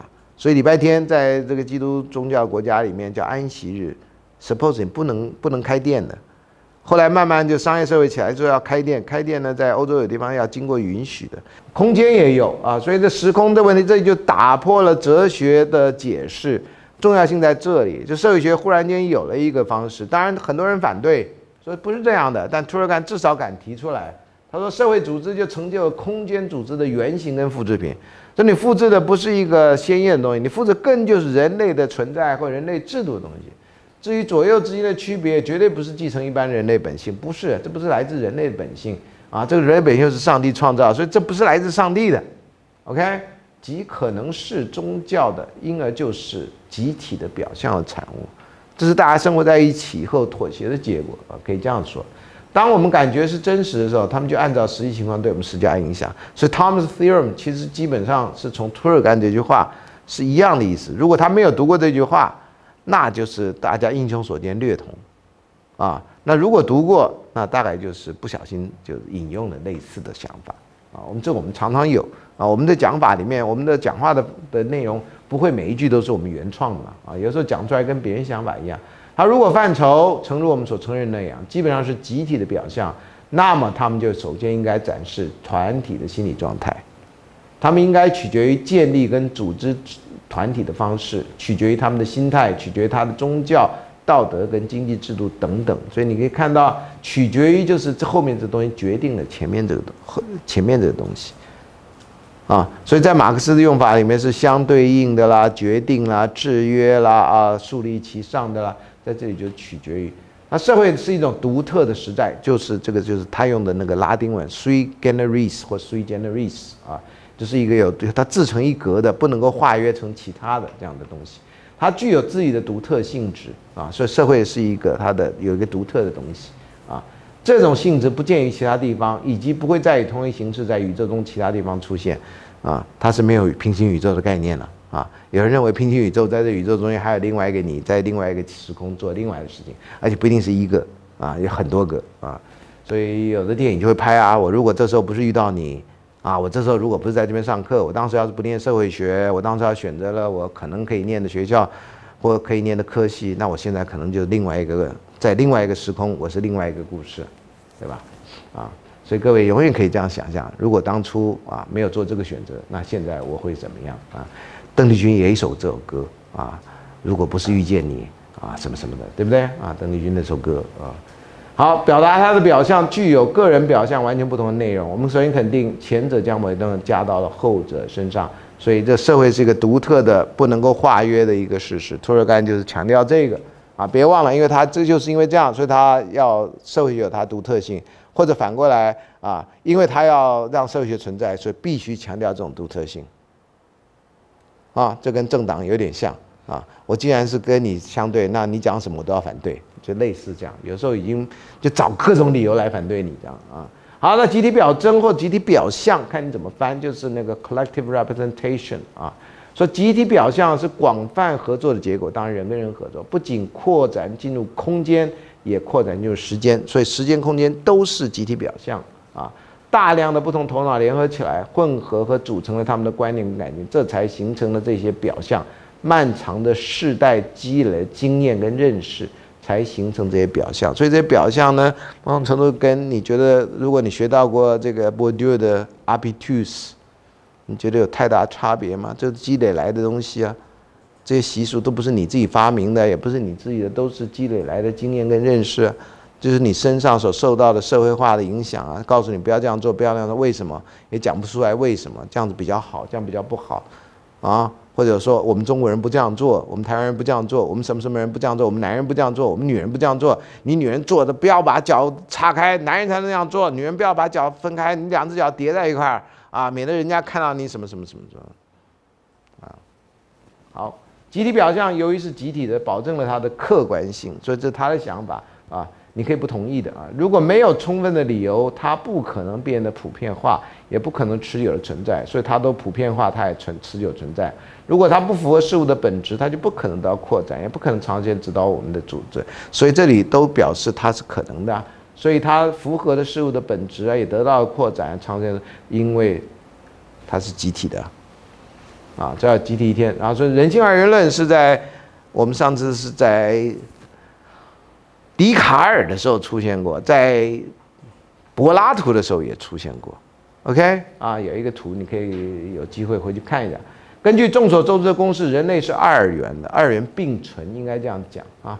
人体内有两个存在啊，一个是个体存在，在其基地在有机体中；另外一个是比较严格限制的啊。呃呃，其活动是比较严格性，因为在个体之中，你不能够超出你身体之外去做什么。灵魂出窍的事情是我们一般人不相信的啊。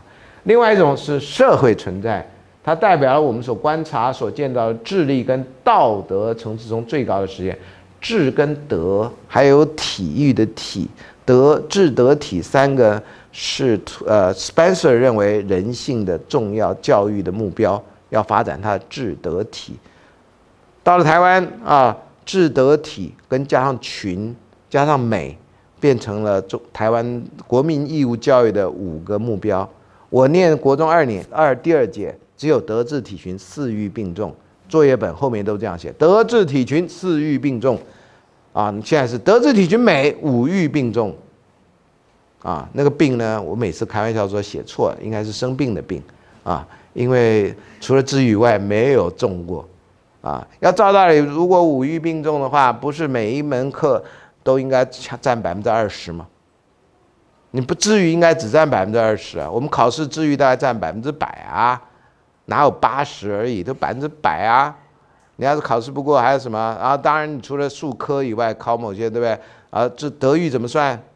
老师，我从到现在为止捡过三吨的垃圾啊，我有证据啊，你就可以拿着垃圾捡垃圾的吨数，对不对？可以公证盖章啊，每一次那个回收人可以盖章，啊，你今天缴了呃几克的垃圾，然后缴了二十年，你缴了几吨的垃圾，对吧？你德育要怎么算呢？我做我扶过多少老人过街，啊，这个以前我听大陆的相声，我都快笑昏倒了啊，说这个扶老人过街啊，是大陆的小学生有时候学校会提倡。他说：“所以呢，有在提倡那几个礼拜，老那个老人家很怕过街啊，因为就一堆小学生过来扶他过街。他没有，我已经过来了，没关系，我扶你过去。他已经过来，然后把他扶过去啊，然后就等着那边的小学生再把他扶过来。所以那个老人家的功能就是在街上那天这样过马路啊，这个是当然讲相声开玩笑的啊。”呃，但是扶老人过街这点可以变成一个活动，特别是小学生的活动这一点啊，是在这个相声里面的段子里面展现了很有意思的部分啊。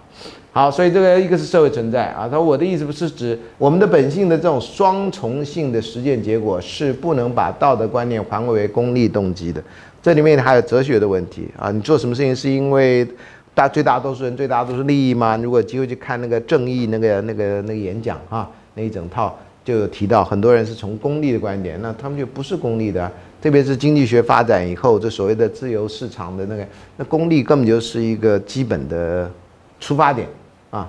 这也是为什么我们在教社会学啊这么多年来，会经常碰到的，一直不断重复出现的问题，像那个学学习佛斯的那个石头一样。老师啊，学社会学有什么用啊？学社会学。将是将来能出来做什么啊？这样啊，会不会饿死啊？啊，我就对第三个问题有一个实际的建议，说会不会饿死啊？那你到医院去查一下，饿死的人是不是都哪个系毕业的啊？啊，第二，如果说你说呃没有工作，街上讨饭的，那你到那个路上看到那个讨钱的人，你就问他说，那请问一下，你是不是社会系的学长啊？啊？你怎么在这讨饭呢？对吧？啊，如果他认为不是，那你就知道不是；如果他说是啊，学弟啊，学妹啊，帮帮我吧，啊，因为这个是没用，那你就知道出来只有这条路啊。唉，啊，功利的动机啊，其思想状态的结果是理性不可能还原为个人啊！只要个人属于社会，他的思想行为都超越自己。意思说，你属于社会，你的所有思想基本上还是受到社会制约。所以，人的人类存在性就有一个是个体存在，一个是社会存在在里面。社会要生存，不仅需要令人满意的道德一致性，还需要最低限度的逻辑一致性。所以，这个逻辑的跟这个道德的是都要的。超过这个限度，社会就难以安全的存在。所以这个社会有一个限度的啊，所以就像呃，涂尔干说，呃，社会有犯罪是正常的，只要那犯罪率维持在某一个比例之下，这个社会是安全的、正常的，有这样的意思。如果高了，当然不是。自杀是正常的，因为也是维持一个啊长期的一个稳定的比例，那就不是什么问题。从社会观点来看，当然从个人观点或从亲友观点来看，这怎么会正常呢？你的一个好朋友自杀死了就没啦，啊，这当然不正常了啊。好，那社会跟自然的关系啊，这个我就不说了，这也是类似啊。社会跟个人啊，这个可以说一下，说是社会提高了人，甚至造就了人，因为造就人的东西就是构成文明的智力总体，而文明是社会中的工作，这就解释了崇拜可以在所有宗教中占有最显要的地位，而不论它可能是什么宗教啊。前一阵子有这个帮师傅洗脚的照片啊，这个传出来啊。我觉得这当然有一些都是你把他的更多照片传出来，可能做的事情就不是只有这样的了。可是你把他照出来，就是他徒弟替师傅洗脚，好像这个事情就怎么样？呃，你知道教中有替教徒洗脚的。在基督宗教传统里面，以前呃，王建轩也有提倡什么哪一天要替爸爸妈妈洗脚的，那个是有一些西方基督宗教的传统啊。呃，我们当然中国人主张泡脚啦，哈，这个这个是一个对身体健康的啊，所以其实有共通之处啊。如果你当然只呈现了其中一个，呃，看起来好像很奇怪，说你有替爸妈泡脚吗？你怎么就替师傅泡脚？他可能有替爸妈泡脚啊？怎么样？他就要把爸妈泡脚跟师傅泡，或者师傅拿脚来做实验呢？对吧？你知道吗？就要这样泡啊，这样泡回去给你爸妈泡。那他有没有讲这？你也不知道啊，好像就要打击他啊。所以我觉得有时候看到一张照片，有人能说出那么多故事，我都很佩服啊。虽然我不是那个宗教的人啊，我也不可能是那样啊。我的老师很早就告诉我啊，我的美国老师告诉我，他说你可以崇拜一个人呐，但不必去得吻他的脚啊。我觉得这个是一个限度的问题啊，限度的问题。有人会去吻，你知道有人会吻教宗的脚啊。呃，还有那个呃，在耶稣生前，还有那个长发女子会拿自己的头发给耶稣洗脚，还有那个佛陀在经过泥巴地的时候，有一些信徒女信徒会拿自己的头发铺在那个佛陀走过的泥巴地里面，让佛陀脚不会脏。这种故事都很像，这种故事都很像啊，所以这个你故事知道多了，你就知道这他对于某些神圣人的尊敬。啊，神圣的尊严。我们现在当然有邪的，实际不太需要做这个。但是在耶稣在佛陀那时代啊，可能这个事情代表某种意义。那你买一个好的球鞋给给师傅或给老师，也是一种做法嘛，对吧？然后师傅那个鞋子上面，然后头发牌啊，或者把大家信徒的头发全部剪一些下来在上面，那看起来怪怪的，毛像毛怪啊，那是另外的问题了啊。他因为只有在行动中，社会才能产生它的影响。但是如果组成社会的个人未曾聚集起来，没有共同行动，社会当然不会有行动了，对吧？一样啊。社会通过个人的共同行动，才能意识到自己，赢得自己的地位。这首先是一种积极的合作。由于这种外在的行动，集体的意识跟情感才有可能表达啊。正如我们证明了一样，集体的行动是集体意识跟情感的象征，所以行动是这个的象征，所以这个情感呢是一个底层，然后那个象征是你看到的东西就行动，所以你看到的东西背后是有它的情感跟它的集体意识啊，所以意识跟情感看起来不是一个上层建筑，不是一个被影响的东西，不是一个应变项，而是一个自变项，在这个解释上面，那这种行动支配着宗教生活，因为社会是宗教的源头。很多人认为他讲的可能不就是这不是作为宗教人，社会就是宗教，宗教就是道德，道德就是社会，就开始在这边三位一体的打转啊。那他最有名的是这个他的宗教定义了哈，他说宗教是一种与神圣事物（括号及性质特殊的、禁止接触的事物）有关的信仰仪式组成的统一系统。那这里强调是神圣的啊，sacred 啊。然后这个信仰呢，跟仪式。这是一个包括信仰啊，包括你思想上的，包括仪式，包括你行为上的啊。然后对所有赞同的团结在叫教会的道德社群，所以它是一个道德共同体，大家有共同信仰能聚在一块儿，所以有神圣性跟有团聚性。简单讲是这两个，那这就是宗教，没有提到神的问题，它这叫神圣性。所以后来有人就从这里规范到呃引申到说，像国企，美国都对国企的尊重，所以像 Robert Bella 也是一个宗教社会学家，就提到 civil religion。市民宗教或公民宗教啊，或者在这个呃文明社会里面，国旗为什么要尊敬国旗？因为国旗是集体的象征，所以你不能污蔑国旗，因为你污蔑国旗等于污蔑这个国家。在美国，像看起来那么自由的国家，曾经有个艺术家在展览的时候焚烧美国国旗，引起很大争议。在现在反美的情绪里面，最近因为美国跟伊朗禁运禁运的关系。你在新闻上面，外国新闻上面可以看到伊朗人民焚烧美国国旗。焚烧国旗有时候是一个象征。你说焚烧国旗就是个布嘛？你烧了布关我什么事呢？呃，那个布是个国旗的时候，这就不一样，那就不是任何一块布，啊。所以焚烧国旗在现在里面，就是，因为国旗具有神圣性，在在那些很气愤人，如果国旗没有神圣性，你烧吧你。你还需要吗？我家还有啊，那那就没有神圣性，懂吗？就是神圣性。还有一些像什么年呃年轻一些崇拜的东西，说你听着干什么？这什么烂 CD，把它丢了啊？他会跟你翻脸，他甚至会自杀，因为对他来讲那是很神圣的东西。他的这一生，哎，你崇拜那个偶像干嘛？那偶像还还还还闹些绯闻什么之类的，啊，这都是你没办法，有时候没办法跟这个粉丝来理论的地方。这也是有一种类似从行神圣的行为，所以台湾的选举哈，就展现更多的这种啊神圣的道德群体。哎呀，晚上一起去啊啊，我先去占位置啊，我都买买买好晚餐了啊，怎么样怎么样，大家在在这件事情上面啊，就变得非常非常的那社会运动有时候也有这种功能哈，社会运动，因为台湾最近几年的社会运动啊，因为会做社会运动的人都上台了啊，所以这个不会搞社会运动的人就就很安静啊。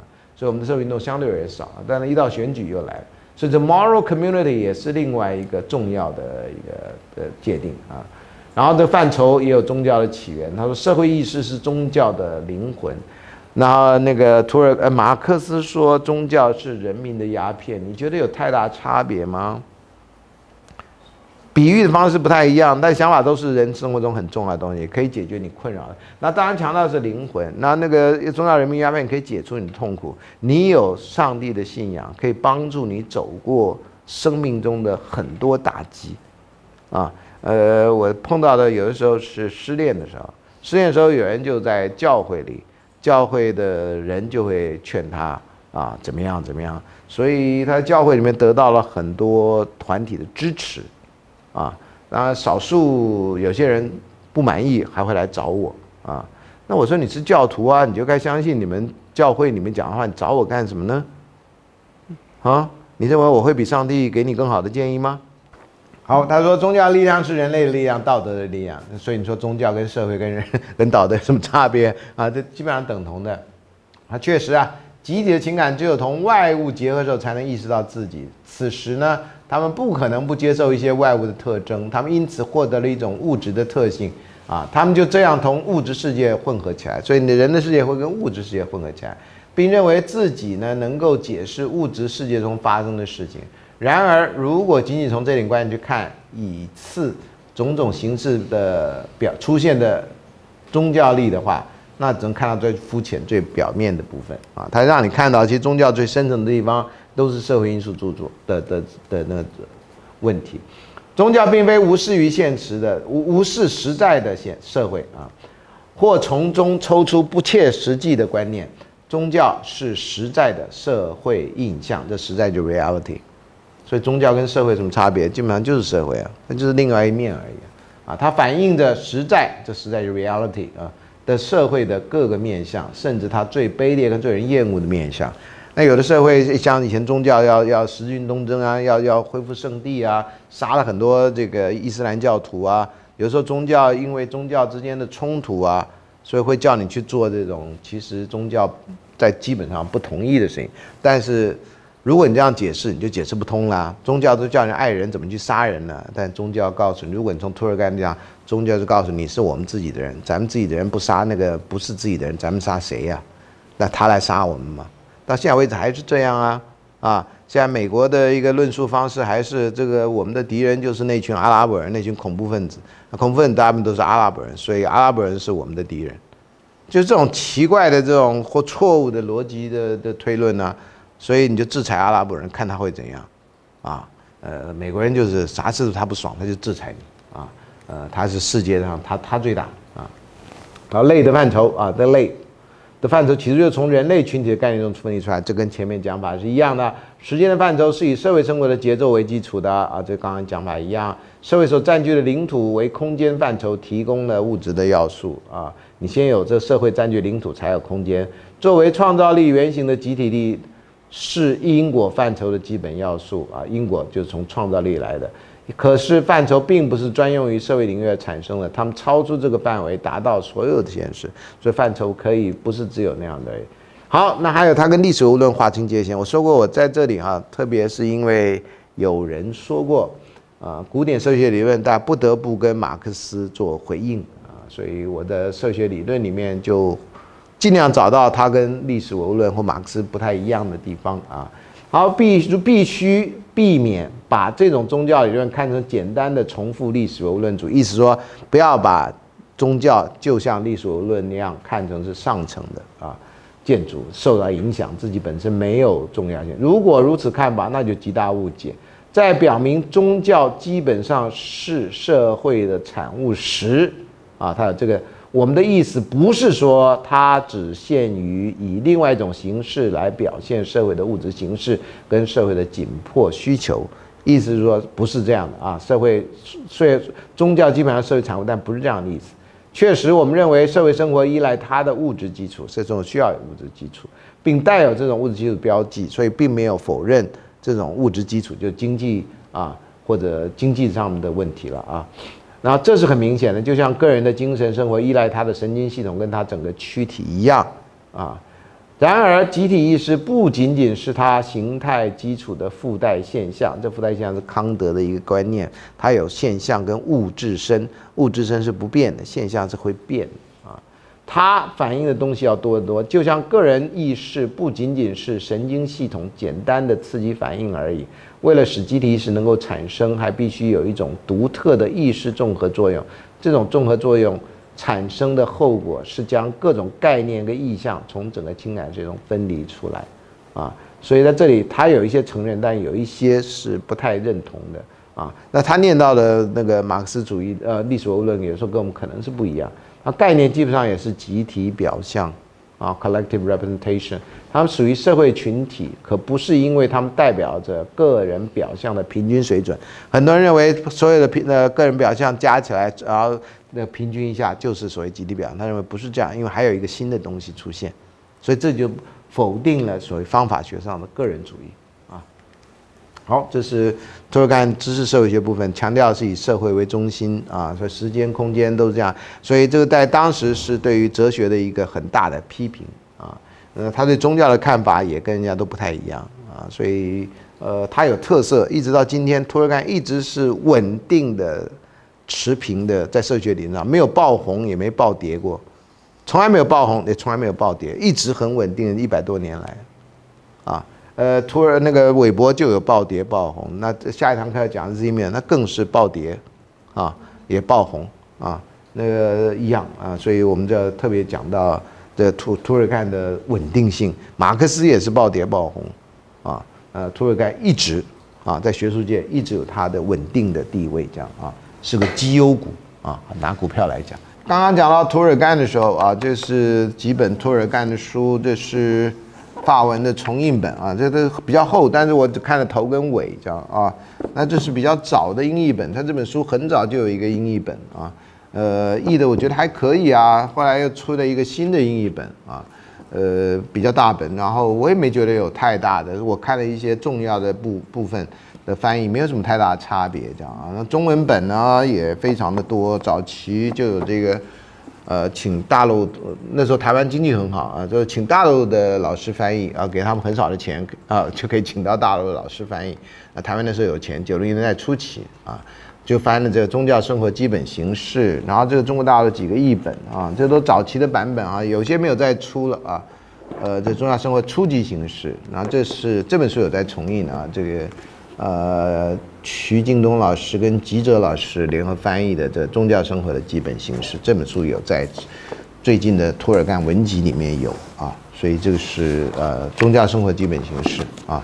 那接下来呃要讲的是齐美尔啊，齐美尔的书我没写啊，希望这辈子能写啊，但是因为我不是在德国念书的啊。我是从英文了解它的，会有一点隔阂。那这个有一个大陆翻译的日本学者的啊，北川东子写的书啊，呃，翻译上面有一点点熬哑，但是因为他在柏林呃，在在德国念的书，所以他写了翻译。那这是南京大学陈伯清老师写的书，陈老师大概把这个英语世界有关齐美尔的研究的重点全都吸收到了啊，所以这是呃少数。呃，还有一本啊，我记得陈荣女的书啊，二手书。那这是一九九七年我到德国去的时候，他们给我的钱，我把全部拿来买书。这是图尔呃齐美尔的社会学，一九零八年版的啊，这是原版书啊，原版书啊，花了几百块钱买的啊。哎呀，我的德文我一直希望好到能够像我的英文一样翻译，那看书，结果好像没有达到啊。呃，这是呃齐美尔的一个文选，最早的英文文选啊，这个叫做齐美尔 on individual individuality 跟 social form，这大家在美国念书，大家都会念到这本书。这是刚刚那本齐美尔的大社会学的摘译本啊，这不完全的译本。呃，现在一个德国的学者啊，Professor Heller 啊，呃，翻译把这个呃大社会学全部翻出来，在德国呃在荷兰的出版社啊。呃，台币一万块钱啊，本人有买，这是原来因为从一九五零年代用了很久的这个结译本啊，然后这是啊后来编的，因为前面重新被发现啊，这个他有关文化的文章，他的文章都写的像散文啊，所以很多并没有很有系统的那，但是也像有些散文很有 insight 啊，你看了以后觉得哦，他可以这样子看啊。呃，在也有一些人啊，这 Professor Heller 他就编了图呃齐美尔的讲宗教的文章啊，这都是在九零年代左右啊。哦，其他中文方面啊，哦，这个是齐美尔的外遇写的书啊，他的外遇跟他太太都一样叫 Gertrude 啊，那他的外遇呢是一个。艺术史专家，所以齐美尔后来研究伦布兰、林布兰呐，研究谁，我就怀疑跟他的外遇有关啊。所以有时候是因为兴趣而在一起，或者因为在一起而有相同兴趣啊，这也很有意思啊。所以这是我在德国买到的啊，呃，我看到的时候兴奋不已啊啊，说哈，因为有关他的外遇的资料非常的少啊，我知道名字啊，因为他的名字跟他太太一样啊。呃，但是一直买不到书，跟买到，这很可惜是德文的，所以我大概买了也看不太懂，啊，这辈子大概希望渺茫了啊。然后这是早期的一本中文翻译书，很奇怪，有人翻译的乔雨门是，呃，从德文编辑的呃齐美尔的文选啊随笔集，呃，只有德文没有英文啊，很多德文书都会有那，那既然有中文译本啊，我有一次在香港吧，那时候九零年代初期。看到了三本，我就全部买了啊！一本就自己留，一本送给图书馆啊，一本就送给当时的一个朋友啊，呃，所以三本书全部被我买了。那这本书呢，非常难看啊，这翻译的也不太怎么样，所以看这本书极度痛苦啊，因为你原来想的这么小书嘛，对吧？一个一个一个 weekend 就可以把它看完啊，结果发现这个桥与门啊，这个好像桥也不见了，门也关着了啊。就是看着那个河在那边流，啥也搞不了啊。呃，那当然还有一个叫《时尚哲学》啊，这也是文选啊，这个是中文的文选啊。呃，还有一本呢，就是简体跟繁体版啊，叫《金钱、性别与现代生活风格》，这就是它文化社会学的部分啊。嗯，这是齐美尔的东西，然后两本宗教的，他宗教东西我们也看不太懂，因为它的哲学性质比较强烈。啊，他讲的例子很少，他很多都是在讲的，然后他的背景很不清楚，然后他通常都不讲资料来源，所以你不知道他的他是根据谁讲的这个，那学问必须得相当丰富啊，呃，如果这是一个中国人啊，那我大概有能力啊，你把近代中国或他当时的那个呃呃文学界或思想界的人的东西看一下，大概多多少少可以了解一下啊。但他是德国人啊，我这个基础没那么好，就不行就没有办法啊。那我们介绍他之前啊，除了刚刚这个书之外，就是有几个重要的。我最近买到了几本新的书啊，讲奇美尔的一本一本一个好像是北欧人写的，叫《z e m a l i a n Legacy》啊。呃，我发现我写我我讲到的东西跟他现在写的东西还差不多，啊，呃，我觉得，所以也许我赶快把韦伯书写完就可以来写这个啊，因为显然在他能读到的德文应该是比我多的，那显然这个对于奇美尔的研究没有太多的没有发现的东西，啊，你要懂我的意思，不是说啊还有一大堆东西是没有发现的，然后他写出来了，说哇。真的很丰富，没有大部分重要的东西大概都发现了，啊，尤其最近这个奇美尔的文集啊，由一个呃德国的教授 o t i n 呃 Ramstadt 一个人编的啊，二十四卷全部编齐了，也出版了啊，呃，这个在中国大陆教书的华中科技大学的郑卓玉老师曾经翻译了其中一个部分的这个访谈啊，访谈这个。这个 Ramstadt Ramstadt 教授的那个啊，呃，当然这个主持人很不称职，所以问了一堆有点奇怪的问题。呃，郑老师把这个大致翻译了一下，所以也也学到也学到一点。但书信里面还可以透露多比较多，可能他的私人的生活，因为他的私人生活的记载比较少啊。唯一有一个有点八卦的记载，也登在英文的杂志上啊，因为有关他的资料太少。说有一有一个人找到一个报纸的记载。说有一天，齐梅尔博士呢，因为去收租，被房客呢开了一枪，击中他的左肩，就有这么一个新闻啊。然后这个，呃，这个新我看我看了一些齐梅尔书，好像很少人提到这件事情啊。我看书是特别认真的看八卦啊，呃，去认真的我也看啊，但是常常认真的东西不太容易懂啊，八卦反而容易懂啊。所以有像这样的故事啊，他的那个外遇的问题啊，所以刚刚我才会知道这个人是什么人，然后他的书出来我就可以买得到，就是这样来而已啊，没有英译本，所以我也不知道他的外遇跟他的思想之间有什么样的关联，因为有些人会说很多人的想法其实来自于女人的想法，你要先了解这个再去读它，就会挫折相对而言会少一点啊，因为你读的时候你会发现它有辩证观念，常常是二元的对立跟统一啊。他会讲分，会讲和，然后你你不注意的时候，你会觉得哎他在讲分，等你缓过神来，哎他在讲和，啊再缓过神来，那到底要到哪里去了？啊，所以这个讲到流行的时候，就有分跟合。举例来讲，他觉得流行是由上层阶级带起的，上层阶级在创开始有一种新的穿着方式或生活方式，下层阶级人就要模仿。那上层阶级人觉得你模仿我以后，我还混什么？所以上层阶级就开始转变他的穿着跟生活方式，让下层阶级追不胜追，啊，那当然后来发现也有反过来的啊，像譬如牛仔裤这件事情，牛仔裤原来是工人阶级穿的，因为很耐穿，啊，所以工人阶级呢就穿这个。后来有钱人发现了，啊，就觉得哎呦这东西那么耐穿，然后就开始有这种设计师牛仔裤。啊，穿的非常合身的啊，可以显出身材的，特别对于女性来讲啊。然后后来又发现，哎呦，穿这样太那个骚包了啊。那干脆就啊，还有一种是你穿了以后，然后浸到水里去，然后让它缩水以后跟你贴身的。这才早期有一阵子牛仔裤是这样，然后现在是牛仔裤一定要破的啊，而且要破越破的地方要破对，不能乱破啊。我念书的时候，牛仔裤刚开始流行是你下面要有须须的。所以呢，有卖的人帮专门帮你刮，所以你的下面不像那个马的那个那个毛，因为刮的须须，现在看的比较少。但有一阵就是牛牛仔裤穿着那样，其实你穿牛仔裤长一点，一直拖地就会出现须须，那是自然现象啊。可是后来人就没有那时间心情去穿那么久啊，那干脆用找人就把它刮。水洗的也是一样，你要把它做做旧。牛仔裤买来居然是新的啊！你穿久了以后开始会泛白啊，会干嘛？哎，那有一阵子就是要这样泛白，所以这个你分跟合啊，然后一旦要合了，它马上就要分，所以就是一种永恒的一个追逐的样子啊，就像小狗追自己尾巴一样，永远追不到啊。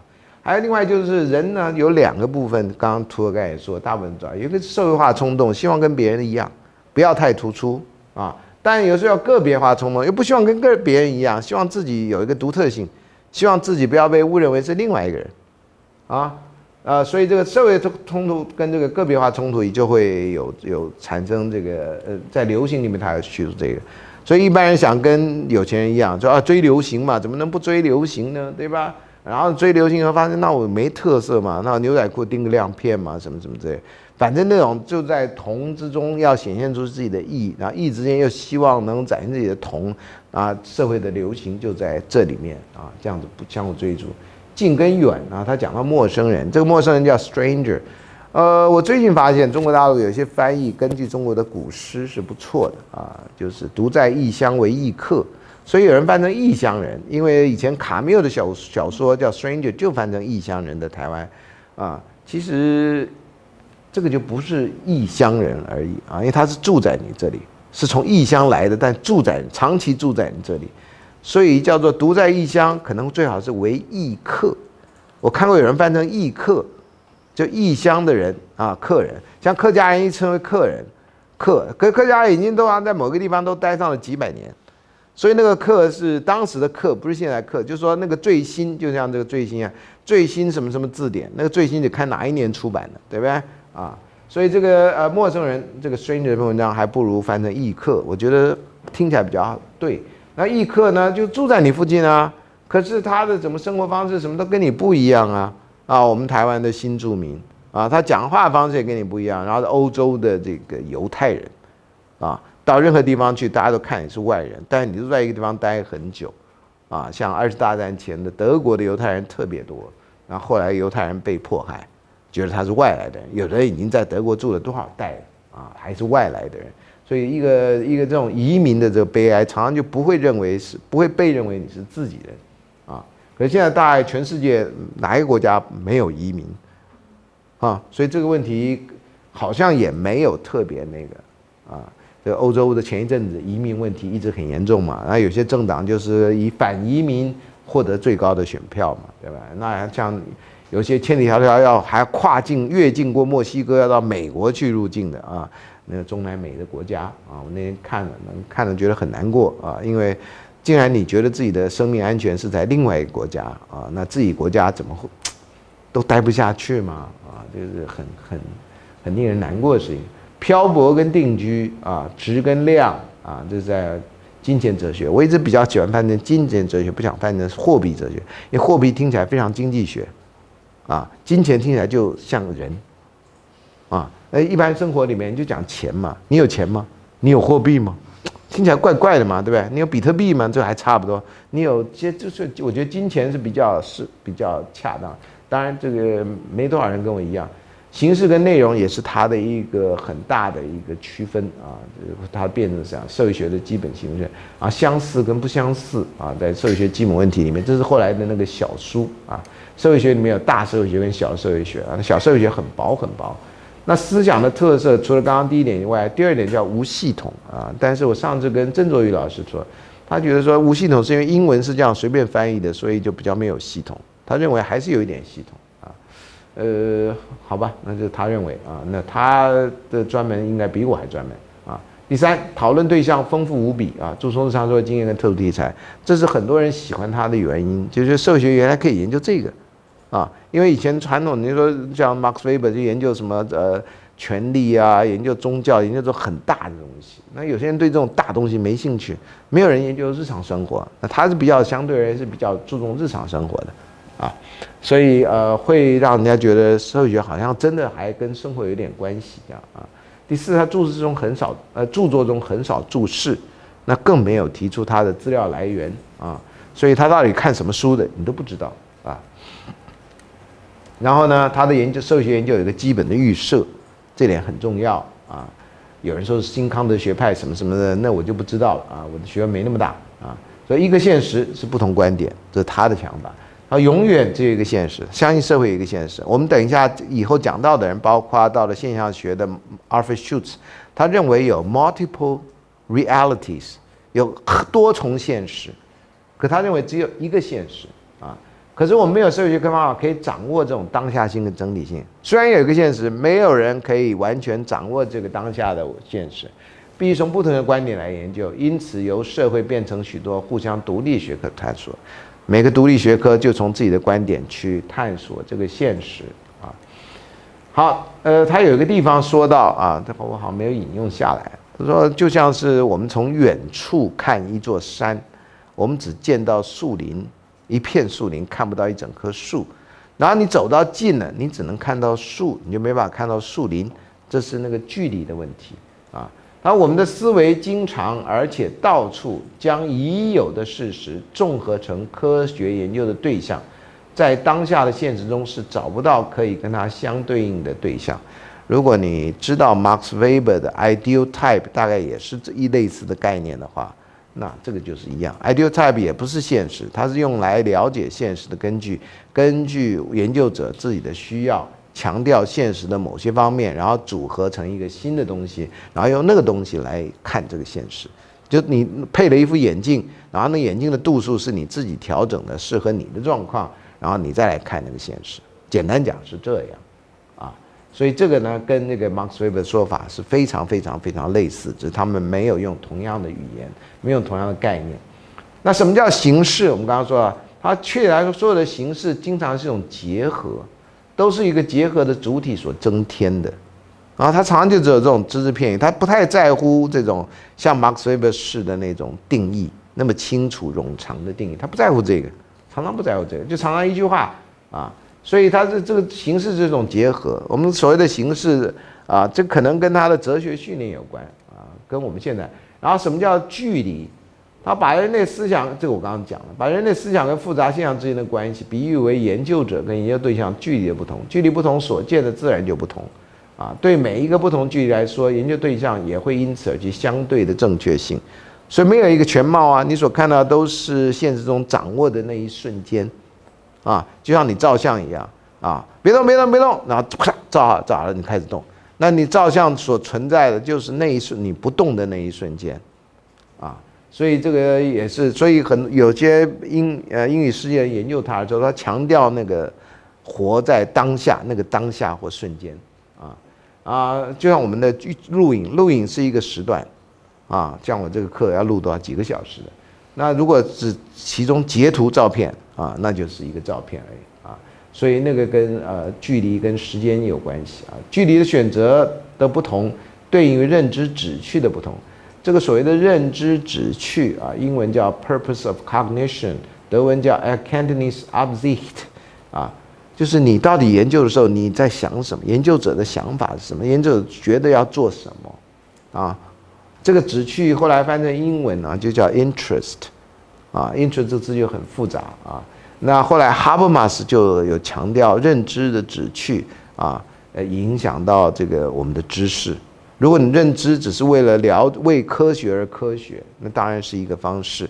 另外一个，譬如说为了经济而科学，我觉得这个经这个经济效益很大，所以我来从事这方面的研究。很多 R&D 啊，尤其是跟商业有关的，是做这个像生物科技的东西啊。那有人真的，我们大部分人在做的，不管为艺术而艺术，还是为赚钱而艺术啊，为什么而学术啊，都还是有这个问题啊。那原来。在学术界是很单纯的，你就是为学术而学术，或者是为赚钱而学术啊。为赚钱而学术，那就绝对不要选我们这种社会科学的科系啊，你就选管理学院或者经济的，或者这个呃呃电脑方面的，那大家都都很抢手啊。所以也是认知旨趣的问题啊。所以大部分在学校教书的老师，特别文史科系的老师。大概很多人都是为兴趣而呃而教书的啊，都是比较喜欢念书的啊，大家也是共同点。然后还有通常呢都不太合群啊，所以这群都是社会上不适应不良好的人啊，所以就让他们待在学校里啊。到了研究院，中央研究院呢，那更是不合群到了极点啊，因为他们只属于总统府啊，我们总统府就不太合群，就不要想着下面合群，所以这也是非常有趣的。啊，合群人怎么当总统呢？你想，总统是一个很特殊的人嘛？我讲的意思是这样啊。大陆叫领导人呢，啊，这个也很有意思，就是他领导别人的。我们总统就是他总来管托所有的事情啊。而现实是研究者思想上变造，这就告诉你，现实是你建构出来的。啊，这个在以前在研究法里面就叫这是一个 construct，那个真正的现实你掌握不住，所以你要建构一个东西去掌握现实。那图尔干讲的那个那个范畴什么就是这样出来的啊，都忙出来。他这些 weekly 这种 reality 也可以翻成 reality，也可以翻成什么？就真实，刚刚翻成实在或者现实，都同一个这种英文。但是在德文的地方，它是叫 Wirklichkeit，然后刚刚那个法文就叫 Realität 啊，是复杂的现象呈现。所以那现象复杂到你没办法掌握了啊，这是它的前提。就像连续不断的彼此相互关联现象的表面啊，这边有很长的一段 surface of contiguous phenomenon，真的现象不是你的可以掌握的，它不断在变，你有好多面相，你一时也一时也看不完。当我们将这些真实的初级的存在啊，这叫 design 啊，design 好像从是柏拉图来还哪里来啊？安排成为个体命运的时候，我们就将这些简单现象事实找到了个别传人，也好像将其聚集成为结合点，啊，这个结合点现在大概在所谓的网络研究里面啊，或者什么电脑的里面有这个，每个人都是个节点。同样的，我们也将直接的眼前的真实加以思想上的变造，啊，transformation form。仿佛是我们可以完全了解的持续不断的习惯，也仿佛事物的本然。这事物的本然就是刚刚那个 order of things 或 order of nature，nature of things 事物的本质。啊，所以这他们的学哲学院观念都有一个假假定有一个事物的本质或事物的本然。实际上这可以完全是主观的，因为它可以产生有效的认知图像，也可以完全是客观的，在社会范畴下既综合既定的现象。因为客观呢这个词后来也变用烂了，所以后来现象学的人就说叫相互主观性，或者大陆翻为互为主观性啊，或者什么主体间性啊，就是你可以了解的，我能够讲给你懂，我们两个都能了解，就有一个互为主观性，就不讲客观的啊，因为客观好像有一个不依人的存在而可以呃可以有效的。那这边讲到认知旨趣跟立足点的问题，另一个 standpoint 或者是你的立场的问题。好，只有特殊的认知目的的决定啊，呃的的目的决定了这个德应该多，这是我自己的翻译啊，所以有时候有点拗口啊。决定了出现在当下的或者体验到的现实是否要从个别的或者从集体主义加以研究，这两种架构就成为立足点，就你要从哪一个角度去解释它，集体的或者是这个呃个体的。啊，这跟托尔干说你要用什么去看待外在的这个世界是一样。到了呃，我现在正在念的啊，这搞了四十年，终于念到了啊，终于也就是 Goffman 的 Framework Analysis。他说我们看待外在世界要了解外在，我们用的是不同的 frame 框架。那你要用什么框架来看这个事情？啊，你要觉得它是很严肃的框架，还是幽默的框架？啊，你可以看到在选举的时候，大家用的不同的策略。啊，有的策略攻击你，你就说啊，其实真相是这样，那是假的，啊，然后有的就不恋战，好吧，那是假的就过去了。但是大部分人会知道，以为那是真的，因为第一印象是比第二印象重要的，啊，所以这人只需跟立足点一样啊，所以什么样的人站在什么立足点上，从哪一个立场来看这个问题啊？好，那社会跟互动呢？他说，当有一群人基于某一种目的，所以互动互动是有目的，或基于某种冲动，不是目的就是冲动，目的是外在，冲动是内的啊。而互动的时候，社会就存在，所以他强调的是一个社会互动。社会之所存在，是因为有互动，没有互动就没有存在。所以，就算一群人在一起啊，在最早的时候说这群人叫乌合之众，乌合之众是那群人在一起，并没有做任何互动啊啊。比如说，你看到一群人，如果这一群人都要等着上车，那他们有一个目的，那就有互动。上车之前会挤来挤去，然后可能有人会被挤下月台，那就影响就大。那如果只是依序上车，乖乖上车，这个基本上是那个序，他们遵守那个序，也是一个互动的结果，啊，就怕乱七八糟，大家用抢的，那就没有序，只要说上去就可以啊。广义来说，社会只是人际心理的互动，只要不是他强调，有时候强调心理，然后社会只是指称一群人互动的时候所用的名称，所以有一群互动人就有社会，啊，社会不是一个实体，不是具体的，而是个事件，我就不太知道这。这这个实体跟事件有什么差别啊？它是一个人命运发展受到另外一个影响，或影响到另外一个人的函数，就是说，呃，就受到这这反正就是这函数跟我们所谓的功能是同样一个字，就受到这个变化的，有一个影响到另外一个，所以总而言之，这个叫托呃马马克思韦伯曾经说什么叫社会行动？好像举个例子说骑车子，如果你骑车子一个人骑车没有什么，那就不是社会行动。你社会行动看到你骑车的时候有一个人在你前面，你怕撞到他，你开始要躲闪的时候，这就是社会行动，因为考虑到另外一个人，怕影响到另外一个人，啊，所以社会行动是这样来的。如果你一个人独独居深山，不跟人来往，那没有社会可言。那一旦有个登山客，你跟他讲话，你的社会就存在。所以他强调的都是这个互动这样。然后呢，每一个社会现象或过程都有两个因素，一个是利益、目的跟动机。这个跟 Max Weber 的有一段话很像。另外一方是互动的形式，所以这个某种程度是内容啊，这个是形式或方式，透过它内容成为现实。所以有个形式，有个内容要相互配合，才会造成一个真正的社会行动。然后他常常用的这两个德文字啊，唉，在没有英译本之前，我非常的困扰，因为这个呢通常被翻成 association，这个你去查英文字典，我保证你查不到，再大的英文字典，我保证都查不到。为什么查不到？因为这是新字，这什么字呢？就是 association 去掉 as，啊，所以呢中文翻译当时有很多问题，就有人认为该翻成社会性，啊，有人翻成社会化。那这个中国大陆林荣远先生就翻成社会化，因为根据德文来讲是社会化，因为 Gesellschaft 是社会的意思，呃加上嗯就是一个 ing 的意思，动名词形式，然后加上 f 就变成的意思，就变成社会的，所以是社会化。但社会化在中在英文里面跟中文里面有两种意思，特别在英文里 socialization 就是在有一阵子共产主义呃当道的时候，把所有东西收归国有，叫做社会化。有的叫做国有化，就是叫 socialization，所有的私人企业全部变成国家的，那叫 socialization。另外一个呢，不是讲这种的，而是一个人在成长过程里面学习，透过家长或透过学校或透过另外一个人学习了社会的价值规范，然后变成自己生活的指导的时候，这整个过程就叫社会化。啊，后来这个波丢我猜因为他的社会学。不是社会学本科，所以他没有学过社会化这个概念，这是我猜的啊。所以他就从哲学里面借用了 “habitus” 这个字来代表社会化类似的意思。我当然也跟人家讲过，有人就觉得不可能。我说过他不是社会学本科的，我自己在学习过程里面发现，不是本科社会系的人，他忽略掉了很多本科的传统。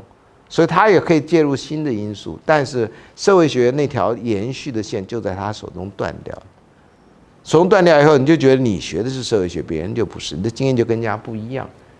啊，我觉得这点很重要啊，因为至少在台湾那个本科念了四年，你就少人家四年中间可能的知识。我碰到很多本科不是念社会学的人，他们讲到社会学都是在台湾非常片面的社会学。啊，在台湾很完整的社会学，至少台大的比较完整的社会学。我是因为一直是念社会系的，我很注意这个问题。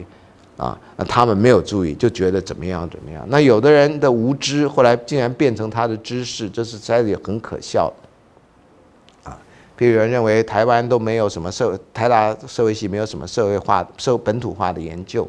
啊，呃，因为这些外省老师都只想着回大陆，所以都没有对台湾有任何关心。这讲的合情合理啊，也符合现在的所有的政治解释啊啊！当初国民党来台湾只想反攻大陆，所以也不想建设台湾。那社会学又怕是共产党的同路人，所以呢，那这纯从逻辑推论这是非常合理。但是如果你在台大社会系，我都已经错过。你知道台大社会系在一九六零年代，我还没开始念书的时候，曾经跟亚洲基金会申请了一笔钱，做了古亭区的社会调查，叫《台北台北市古亭区之社会调查》，有一本小册子。很没有流行就对了。当然，我们当然也作为社会系的老师也很惭愧，就是没有把这个当成细胞。你知道，这是根据一九一九二十世纪初期芝加哥大学所做的芝加哥的 social map，叫社会地图。现在没有这种概念。当初芝加哥大学就花了时间去对芝加哥大学附近的地方做了一个研究。听说芝加哥大学社会系，你一进门就看到那张原来的社会地图。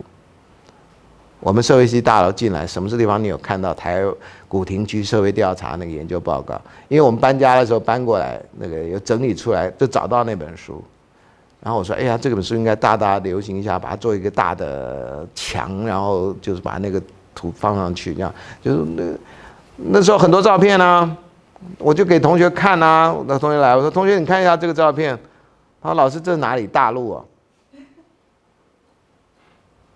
十几年前啊，但我们都幻想大陆还是很落后的时候，那时候已经没那么落后了啊。但是很多人没有去过，所以还幻想很落后。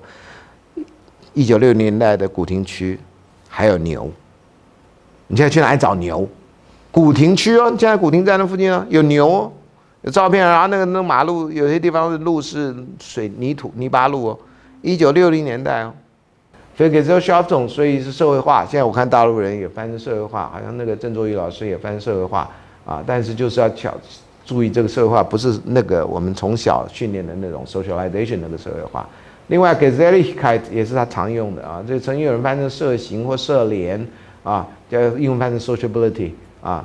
那其实这两个字基本上是同义字了。我后来看到英译者啊，德文老师也说这两个字其实差别不大，因为他那时候名词还没有统一啊，常常就是换一些字来讲，就是这种大家在一起很欢乐的状况啊。一般德文字这个字典可以查得到啊，就大家在一起，然后吃喝玩乐啊，有一个团体啊，association 就这样，所以这是叫 sociability。这其实在英文里面就是有社交性，那社交性想到就 party 啊，什么这种东西，所以。这两个关键字其实也没那么关键了，在另外一个来讲啊，他说你看啊，他界定这个，说是个人变成一个整体，并在其中实现个人利益形式，就你加入一个团体嘛，在团体中啊，你怎么样实现个人的利益嘛，啊，这种东西，只是说这个形式是有，就你加入那个团体的那个那个那个这个形式这个字，有时候会阻碍你了解了。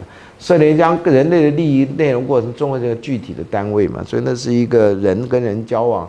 可以展现出利益内容跟过程的一个一个情况，这样啊。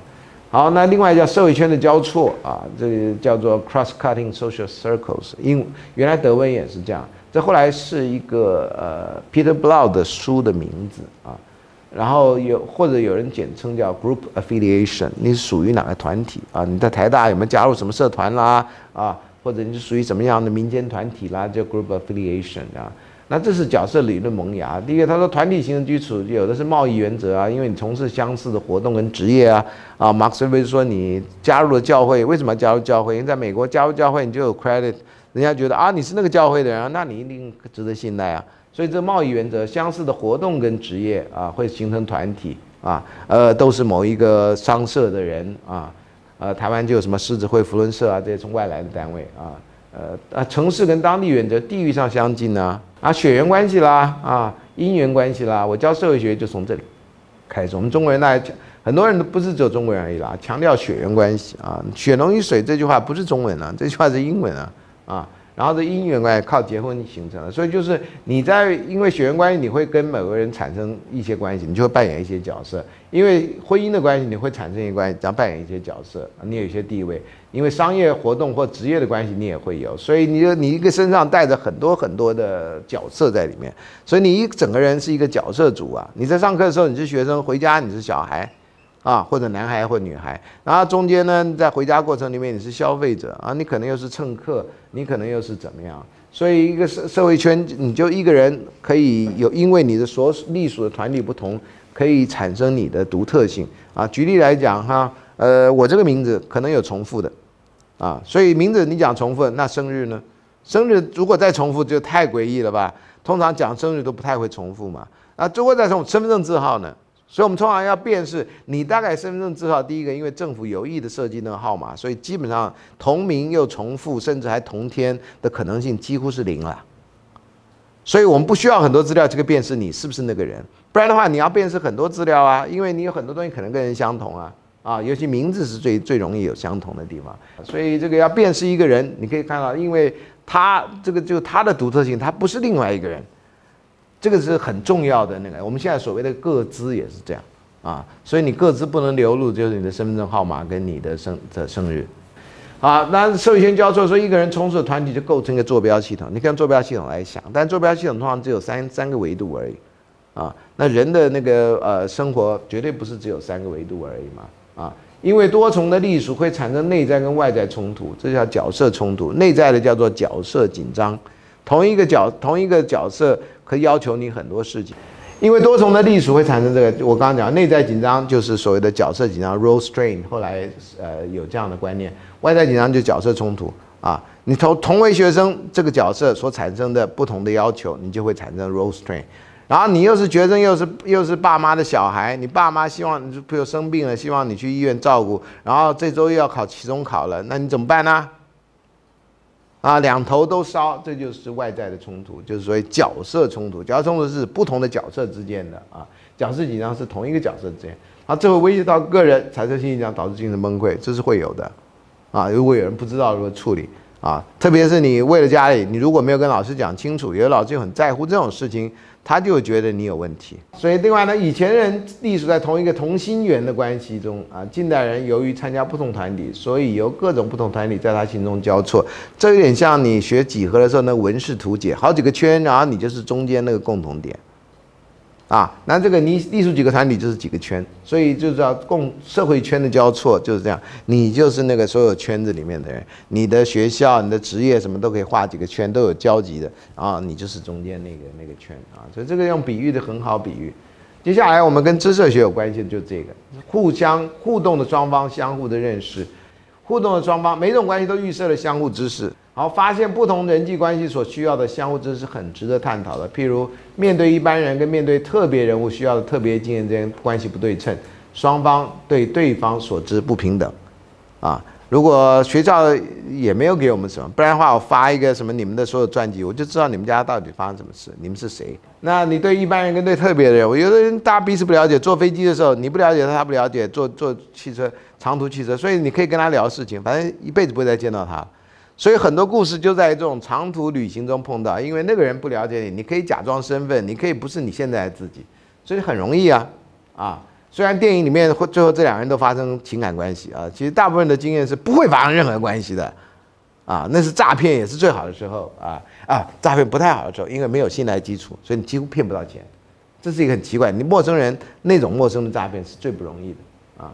好，现存关系中发展受到相互逐渐的了解，每一问掉的话慢慢了解，所以网络上你你你输入三十六个问题，用中文或用英文，thirty six questions，就会有这个过度夸大的说法，说你问完这三十六个问题，两个人就会坠入情网，啊，其实不是坠入情网，就你会有深入了解。那你可以研究一下那个现存关系发展受到相互的为什么那三十六问题有这种效果？这是一九七几年代社会心理学家发现，也不是百分之百人都这样。但如果你真的能坦诚的跟那些人、跟你喜欢的人或跟你关心的人谈那三十六问题，表示那是你生命中很重要的这些面向。一方对另一方的心理影响受到真正实际跟感情关系的影响啊，这个是所有人都有的经验。那立场跟知识，刚刚讲过，对某一个特殊人有所有的概念，是因为我们的立场有所不同。我们在台湾最明显就政治立场啊，你政治立场很明显的可以让你知道你支持谁啊，或反对谁啊，这是一个呃，还片段跟整体的知识啊，我们绝对没有办法完全了解另外一个人，这是他的他的完前提啊，就那整体现象是完全不可以掌握的啊，没有任何人能掌握。所以呢，啊，这里包含了对于每个思想跟情绪的知识，我们没办法了解啊。然而，我们却从这些这个字打错了，我们在掌握的片段中来形塑我们对这个人整体印象。所以，我们其实日常生活很多是推论的，啊，看到一个人，然后看到他的某些特征来推论。像很多人看到我的胡子，啊，特别是大陆的老师说：“孙老师晚上喝酒吧？”啊，为什么我有胡子大家都要请我喝酒呢？我说我不喝酒，你有胡子你不喝酒？我说奇怪，喝酒跟胡子是什么逻辑关系？啊，所以你们这种人豪放啊！以前我还留着的络腮胡，虽然留的不漂亮啊。所以你这种人看起来就是那种大碗喝酒、大块吃肉的豪爽的北方男人。我想我长这个样就是好北方男人，好爽啊！我笑起来是蛮豪爽的了。好，所以在这种差异呢产生，不是我们对这些人拥有知识多寡，不是啊。很多人有偏见，跟你知识多寡没有任何关系啊。或者你有先入为主的观念啊，啊，你就喜欢一个人，或者你就不喜欢一个人啊。这个，这个是我。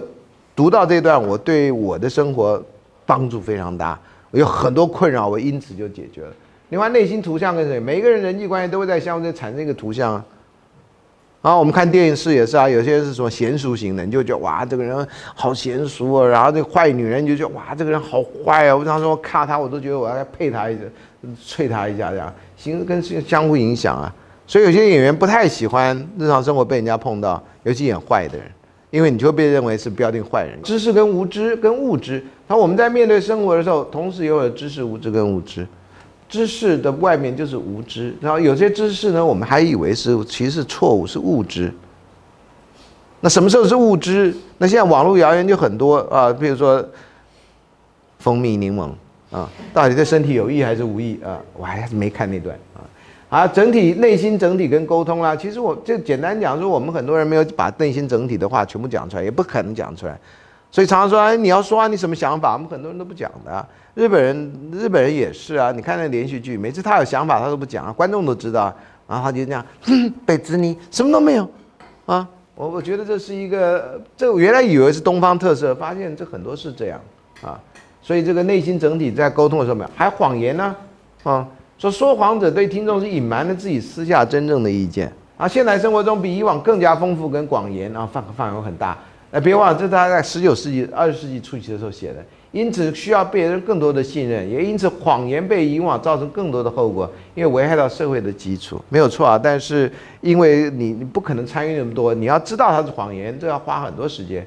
当说谎者跟我们越不亲近，谎言越容易被容忍啊，因为他不是我们讲哦，所以我们亲近的人，包括我们这个生活在一起的人，如果说谎，那是很大的问题。同样的事情，别同样的谎啊。